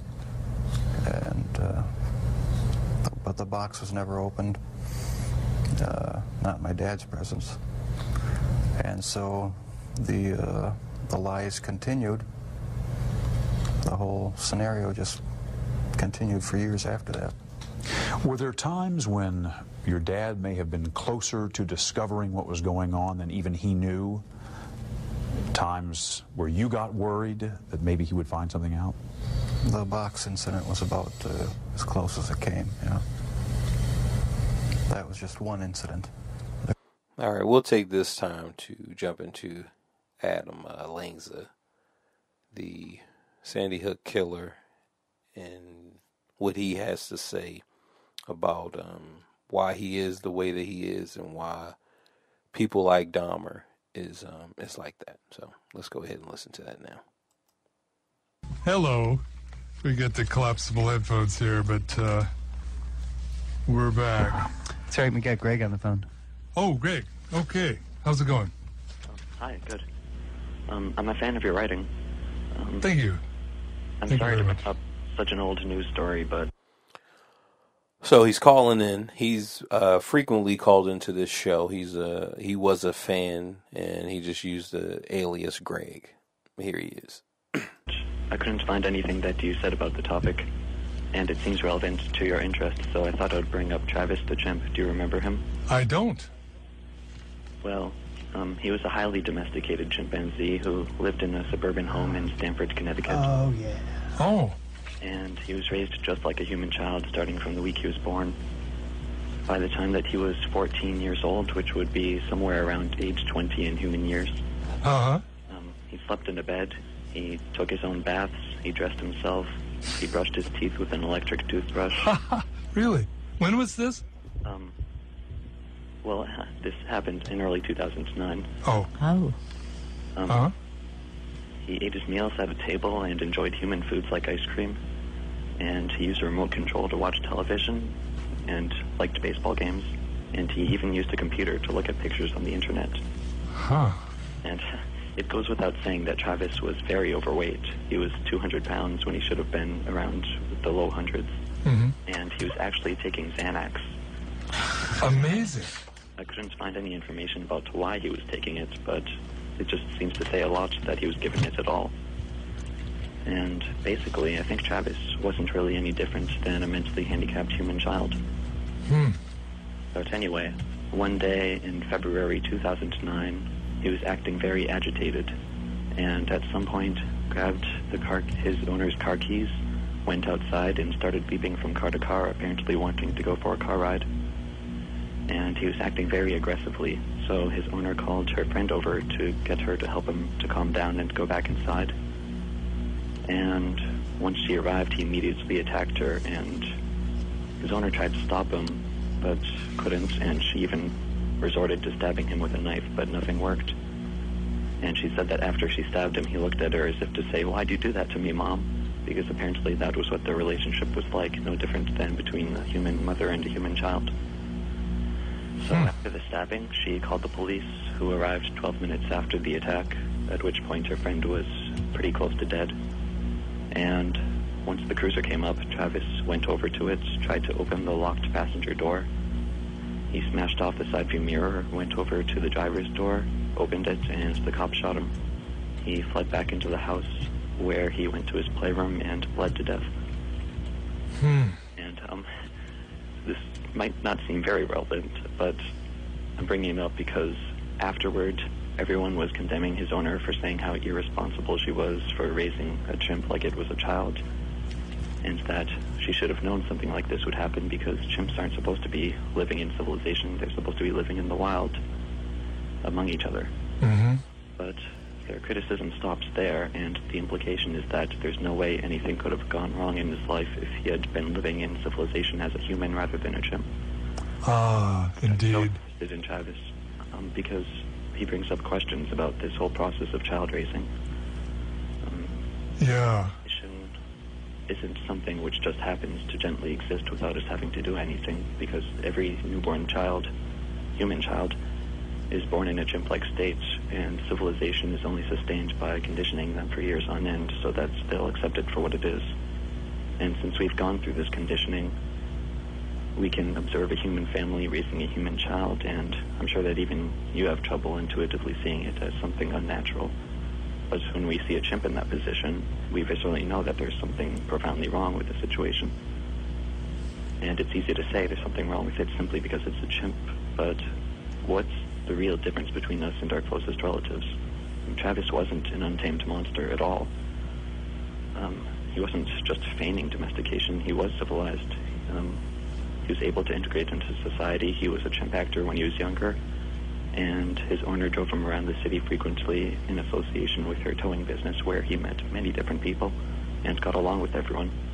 If Travis had been some nasty monster all his life, it would have been widely reported, but to the contrary, it seems like everyone who knew him said how shocked they were that Travis had been so savage because they knew him as a sweet child. And there were two isolated incidents early in his life when he acted aggressively, but summarizing them would take too long, so basically I'll just say that he didn't act really any differently than a human child would, and the people who would use that as an indictment against having chimps live as humans do wouldn't apply the same thing to humans, so it's just kind of irrelevant. But mm-hmm. anyway, look what civilization did to him. It had the same exact effect on him as it has on humans. He was profoundly sick in every sense of the term, and he had to resort to these surrogate activities like watching baseball and looking at pictures on a computer screen and taking Xanax. He was a complete mess. Mm-hmm. And his attack wasn't simply because he was a senselessly violent, impulsive chimp, um, which was how his behavior was universally portrayed. Um, immediately before his attack, he had desperately been wanting his owner to drive him somewhere. And the best reason I can think of for why he would want that, looking at his entire life, would be that some little thing he experienced was the last straw, and he was overwhelmed by the life that he had, and he wanted to get out of it by changing his environment. And the best way that he knew how to deal with that was by getting his owner to drive him somewhere else. Yeah. And when his owner's, owner's friend arrived, he knew that she was trying to coax him back into his life of domestication, and he couldn't handle that, so he attacked her and anyone else who approached him. And dismissing his attack as simply being the senseless, violent impulsiveness of a chimp instead of a human is wishful thinking at best. Mm-hmm. His attack can be seen entirely parallel to the attacks random acts of violence that you bring up on your show every week, Mm. committed by humans, which the mainstream also has no explanation for. And No. actual human, I just just don't think it would be such a stretch to say that he very well could have been a teenage mall shooter or something like that. Yeah, yeah. And Wow. Thank you, Greg. yeah, That's quite a story. Yeah, that's uh, really apropos, isn't it? Travis the chimp. it's just that I'm a little surprised that I never heard you bring it up at all because maybe I'm just seeing connections where there aren't any. But Not. I think not. No, I just I didn't catch that. Now we know that um, he was obsessed with mass shooters, mass shootings. He had uh, a lot of stuff, and maybe we can get into him um, after. Remember, after this Dahmer episode, we're going to to get into the um, my lost episode. But after that, maybe we can uh, jump in on um, Adam uh, Lanza. So if that's something that you guys would like, um, just uh, drop a comment um, if that's something that that you would like to uh, to to know more about. Which, like I said, um, just the the nature of his crime, uh, where we're not trying to uh, to to make him seem like a martyr, make him seem like a hero. But in reference to Dahmer, I think that what he's saying is accurate in the in a sense. Um, and this is how he feels, right? So for himself, and we, you you guys don't know, but maybe you do. But so I can say we, but we know that he was um, quote unquote awkward and had different things going on. Um, but far as understanding Dahmer, and we're looking for all of these reasons why, like why why did the chimp go chimp? Why did the tiger goes ti- why did the tiger go tiger? And it's he he was always this, right? He was put into a situation where he has to pretend to be something else, but ultimately he was always this. So so when we the whole idea with this fascination is just to say, okay, how can we prevent our son? How can we prevent our daughter or whoever from uh, from going fully into the dark side? And uh, that that I don't know, but let's jump back into Dahmer and see. Uh, let, let's let's finish this out. There were there were others, but that was a, a particularly nerve-wracking one. Are there others you can you, you can share? Uh, Other close calls? when uh, when acidified, dissolved human remains were found, they weren't. They didn't look like human remains anymore, but they were in the, the trash bin outside in the garage. Um, that was one incident. And I, a few others I'd rather not go into right now. Were you relieved to be arrested? Part of me, part of me was, and part of me wasn't. Explain. Uh, part, I don't know. It's it's like uh, I don't believe I have a split personality, but you you know the feeling where oh you're you're sort of glad about something, but on the other hand you're not. That's that's how it was. I was. It was a relief not to have to uh, keep. Here, just because I don't want to interrupt a lot, but just when he speaks on he doesn't believe that he has a split personality again it's he wants to take full responsibility for his action he sees that um who was uh, i believe you know see we'll have to get into gacy to really understand uh how the the gacy i know that gacy blamed others right so gacy even got one of his friends along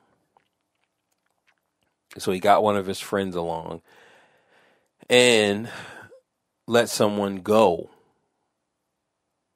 all in the attempt to convince that it was uh, like a satanic cult, that he was a part of a cult, which he was a part of a group. Um, but I believe that that incident where they saw someone else, I believe that it was uh, a close friend. I don't believe that he was in this large group of uh, people that's like minded like him. But it, it could be, right? But that's like a grandiose of his imagination and he wants others to to believe that he was a lot bigger and more powerful. Like Gacy has a lot it has a lot to do with power and excuses and Jeff does not want to he doesn't want to be like that, right? Both of them kind of um I can't say suffer, but both of them have their their issues and I feel like because they were somewhere close that um, Jeff is trying to uh, distance himself from Gacy. Oh, I'm not like Gacy. So that's why you, you hear him say stuff like, I don't believe that I got split personality and nothing happened to me. And right, he's just really trying to take responsibility. That's very important to him is to be uh, recognized and viewed as someone who accept his responsibility and who did not run from his responsibility and run from his actions. And I I believe that that uh, the guy who who kills him, which I'm sure at, at the end of this they'll say that you know the reason why this was the last TV interview is because he was murdered. But I believe that that he let him do that. I don't believe that that um that this guy just killed both of them. Now, of course, that first one, um, because he killed two people. That first one, I don't think that that guy let him do that. But but for uh, Dahmer, and you know, maybe we can jump in and, and listen to that guy's account for what happened. Um, but again, we all have to remember that when whenever we judge someone's account, we have to put it in the light of how do they want to be viewed how do they want the narrative to look? Because if you disrupt that, then you will see them um, pull you back into their narrative. But let's carry on. Such a gigantic secret that I had kept for so many years. And once I saw that I had no choice but to face it, I uh, decided to face it head on and uh, make a full confession. So uh, I am glad that the secrets are, are gone. Coming up, a father's anguish as he confronts the gruesome reality of his son's crimes. What was it like the first time you saw Jeff after he was arrested for murder? How good was Jeff at manipulating you? Excellent. He's very good. Good liar? He fooled everyone. He fooled me. Yeah, very good. He fooled his probation officer, his attorney, the the police, you know, who came. I mean, he had he had bodies in, in his next room when the police were standing in in uh, in his outer room. There were so many people that he that he fooled. And he could lie and be he just cool looked, as a cucumber. Yeah, he just looked very innocuous. He just looked like a. This is a reoccurring theme with the dad lying though, is that whenever whenever someone whenever uh, Stones whenever Stone Phillips poses a question to him, then he points out that that everyone that this happened to multiple people that it wasn't just him. So he's uh he's always trying to I guess it's not about what he's trying to do, but I feel like what he he doesn't want to be singled out as as a fool. So that is something that that is very dear to him to not seem like a a fool, right? Or we can go to the uh, psychologist's words, control. But I feel like th- it doesn't have anything to do with control. It's more focusing on him and to say that that uh, that you you you're a dumbass, right? And I- believe that that's why he's he's always pulling in other people. So if you say, "Oh well, this this this happened," well, you know, this was there and that, and and look at all these other people, right? So he's he's like just he's just dry snitching on everybody because he doesn't want to face the reality and the truth of of his own accountability, which he even tried to take some. So there, I can see why Dahmer, just speaking, I can see why Dahmer is not why Dahmer wants to take responsibility because this is a trait that he sees in his father as a weakness. This is a trait that he doesn't like about his father. He doesn't like that his father doesn't take accountability for his actions.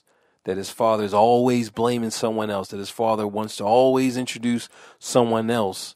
This is a trait that he doesn't like in his dad. He loves his dad, and or he loved his dad very much. But this is a trait in his dad that he doesn't like. And I can think of traits in my dad that I did not like, or traits in my mom, or traits in my whoever, right?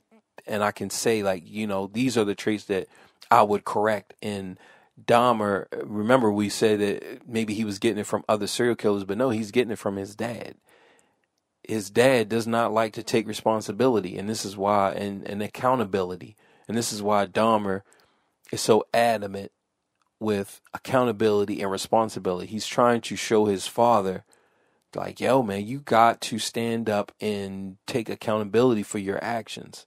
So I'm going to show you, I'm going to do it. So he, this is Dahmer's final lesson to his father that, like, yo, I wish you would have been accountable for your actions and you haven't been. So that's just, it's crazy, but that, um, I can see it clear now because his father is trying to duck accountability big time. This guy's playing duck hunt with accountability. Uh, an, an average person who couldn't possibly do the, the things that he did. What was it like the first time you saw Jeff after he was arrested for murder? Oh, that was really tough. Uh, he was uh, disheveled, you know, beard, and and uh, he hadn't slept. There was there were people screaming in the cells, and and he just he just stood there like a limp rag. What did you say to each other? I went up to him and I said, Jeff, um, I love you. I hugged him. I cried. He didn't seem to be emotionally moved. He just seemed like he was just wrung out. Did he hug you back? Yeah, as well as he could. He was shackled in front of him, so he really couldn't hug. But he pressed, you know, forward. But it just seemed like he was uh, just his his soul had dropped out of him. What were his first words to you when he saw you? Um, I'm just so sorry. I really screwed up.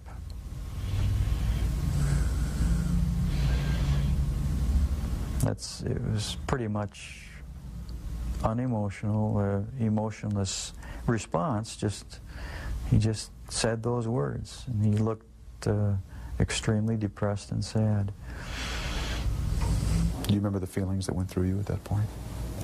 Yeah, I felt, I felt really um, those same feelings: depression, you know, extremely, um, well, shame and and uh, just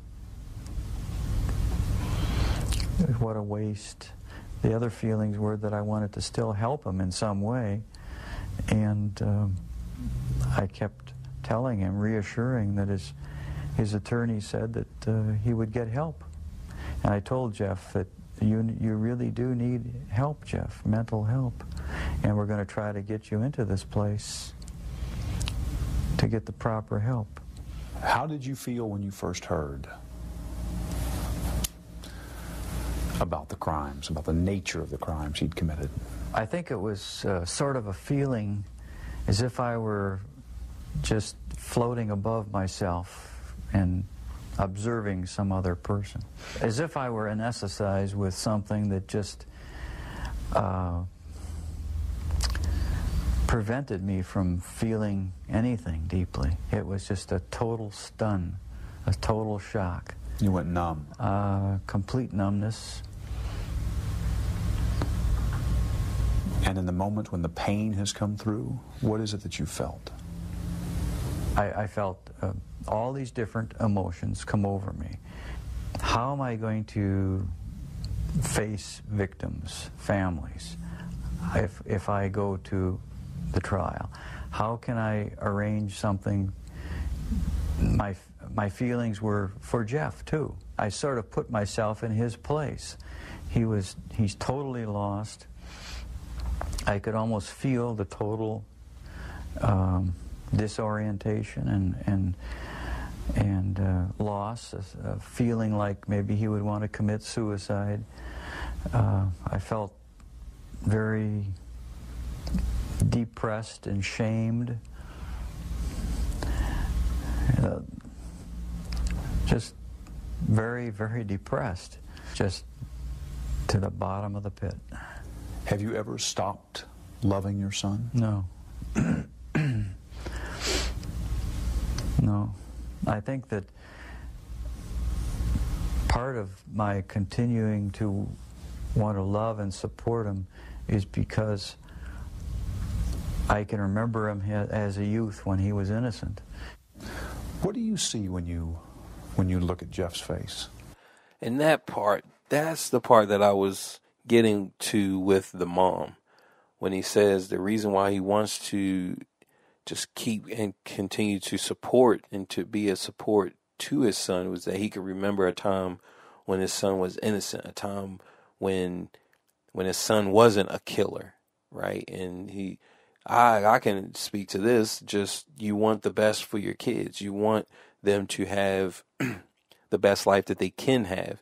And the mom, like like I said, I'm not trying to beat up on the mom. I feel empathy for the mother, but we just have to be honest that there was something there.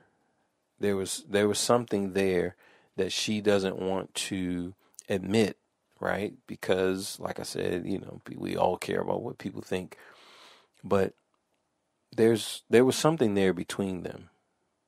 Like a, a disconnect between the mom and uh, Dahmer, not to the point to where he wants to kill women. Because remember, even people who want to kill women, it, it's still that that violence and sex are on the same path. So, I guess uh, the parent, naive parent in me, still says I see a, uh, an innocent, uh, shy child, a defenseless, vulnerable child who I wish I could help now. I know there are some people who say don't you know, he shouldn't have any peace. You know, the victims' uh, families don't have any peace. But I, I want to, I want to see what I can do to help Jeff have some peace in his mind because there's there's still things there.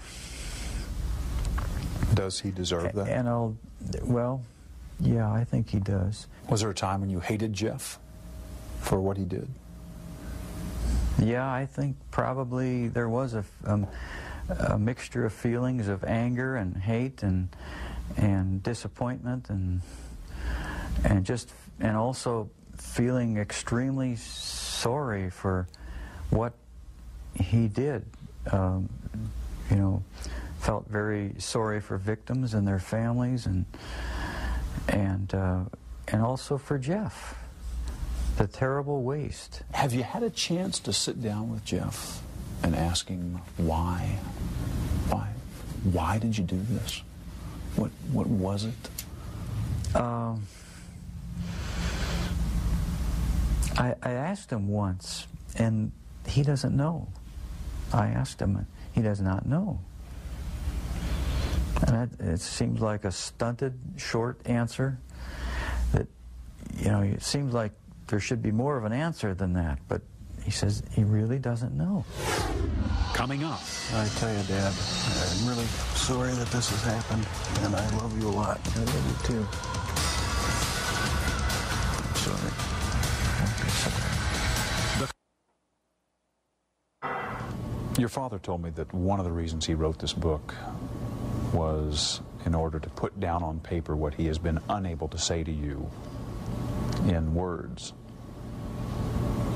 kind of reaching out to you. What do you want to say to him, having read this? I tell you, Dad, I'm really sorry that this has happened, and I love you a lot. I love you too. I'm sorry. Don't be sorry. We uh, we haven't always shown it a lot, but uh, I I do love him a great deal. Yes, I, I believe that. I, like I said earlier, that uh, he has great uh, ad, what is it?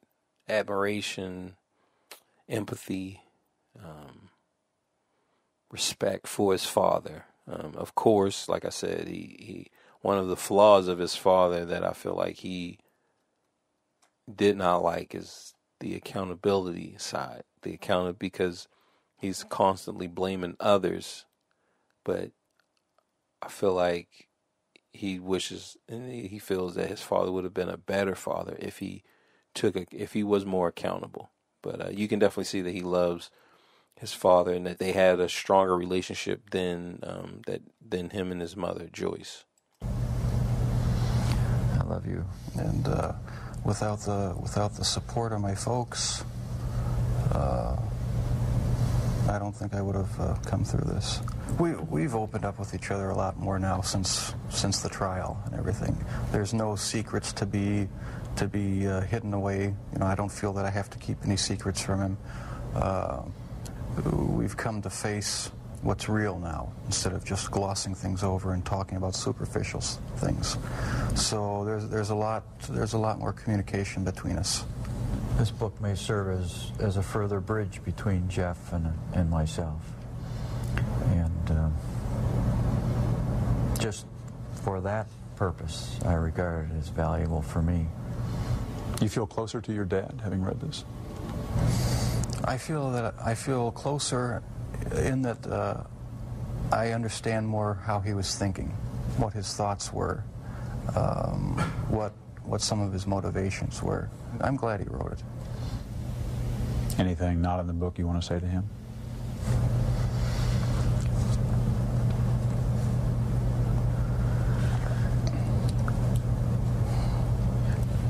I, I can't think too clearly right now. I'm feeling pretty emotional.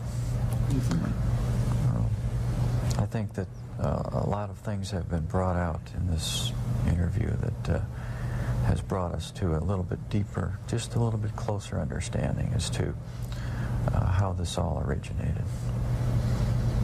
And, uh, well, whenever I get emotional, my analytical side is gets clouded, and I can't express myself quite as much as well.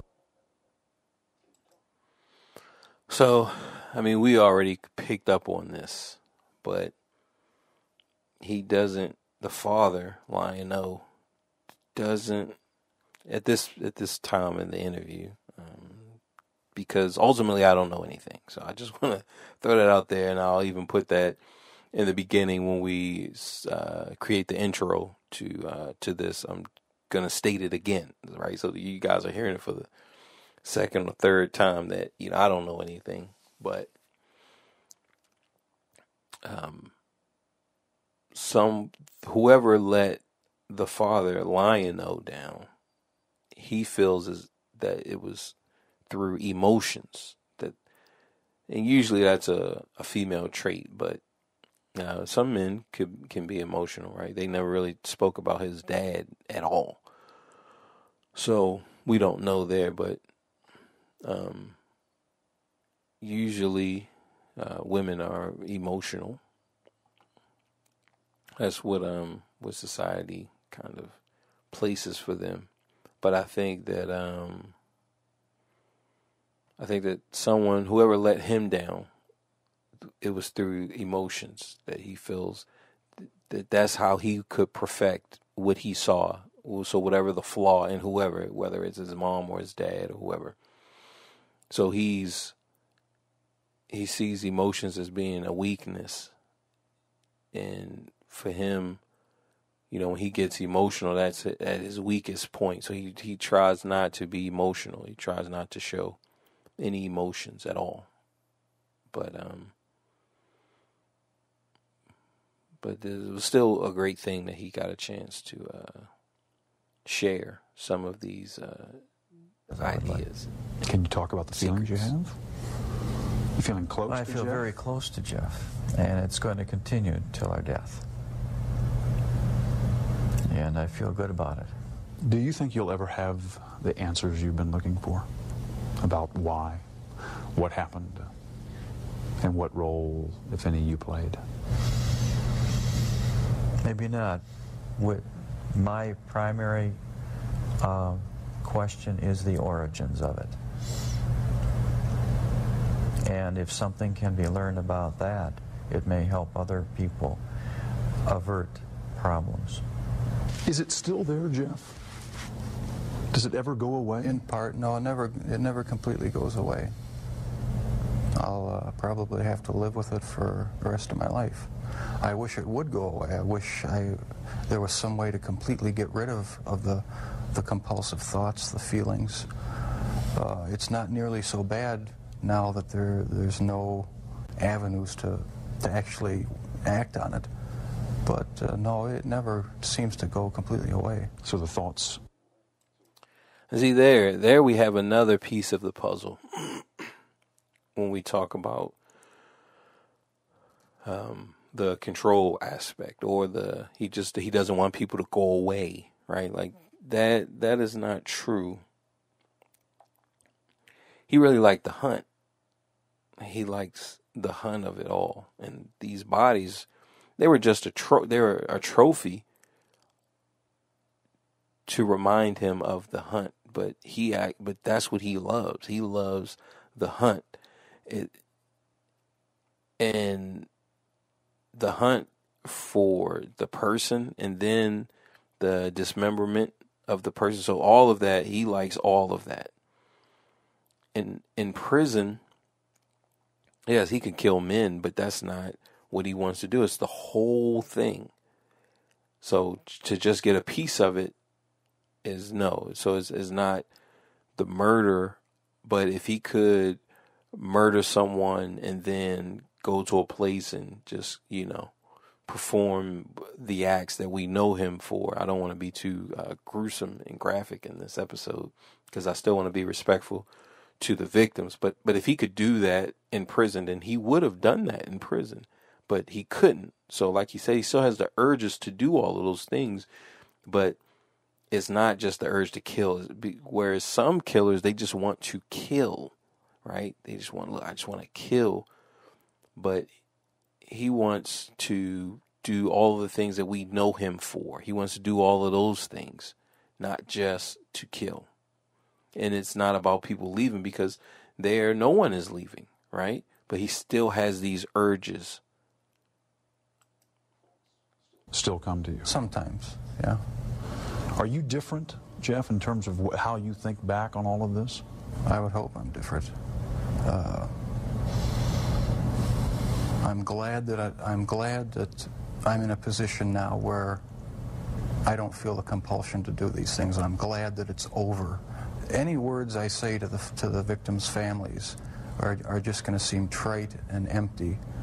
Uh, I I don't know how to express the regret, the sorrow. Uh, that I feel for what I've done for their for their sons. Uh, I can't find the right words.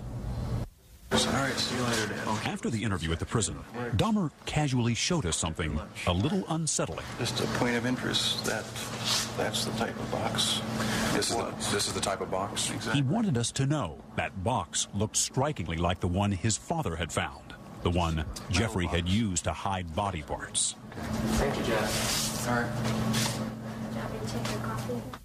To this day, the interview with Jeffrey Dahmer remains one of the eeriest experiences of my 30 years in television news. From the weak handshake with which he greeted me to his bizarre observation about that metal box as he returned to his cell, Dahmer was a haunting figure. He often said he had wanted the death penalty. Nine months after our interview, his death wish came true. I'm Stone Phillips. And there we have it. We, we I will do um, like an exit or an outro for this, uh, kind of just summing up my ideas. This has been a long. We haven't had a long one like this in a while, but um, picking up on what he said about the handshake, I would say that the way I would interpret that is that he wants to be viewed. He doesn't want to be viewed as a um, predator and a killer. He wants uh, Stone Phillips to feel comfortable, to feel at ease. Um, but well, I've received several handshakes like that, and uh, yes, they are very weird when you when you get a handshake like that. Like they are very weird. So we'll do our outro. Um, we'll do that now. So there we have it. Um, I ran into some technical difficulties trying to uh, put this all together, but you know, when there's a will, there's a way. So, um, in OBS where I was recording this, I didn't record the actual uh, video, the the interview part. So you, I only recorded what you, uh, my part that you could hear me talking. So then I had to go in and put pull the interview back and then start cutting and splicing. So you know, it was quite the the task, but here we are. We're back, okay, and we're uh, uh, hopefully I won't have this issue again because I know what the problem is. So, thanks everybody for checking it out, and uh, like I said, we're going to get into the um, I don't know what I'm gonna call it, but it's going to be around like nine months or pregnancy, operation pregnancy, or in vitro fertilization. Like it's going to be something, right? So we'll get into that next week, and then we'll, we might pick it back up with some more serial killers. So uh, you guys have a good one. Have a great week. Um, a great weekend whenever you listen to this. Thank you, and uh, Reese's PCC.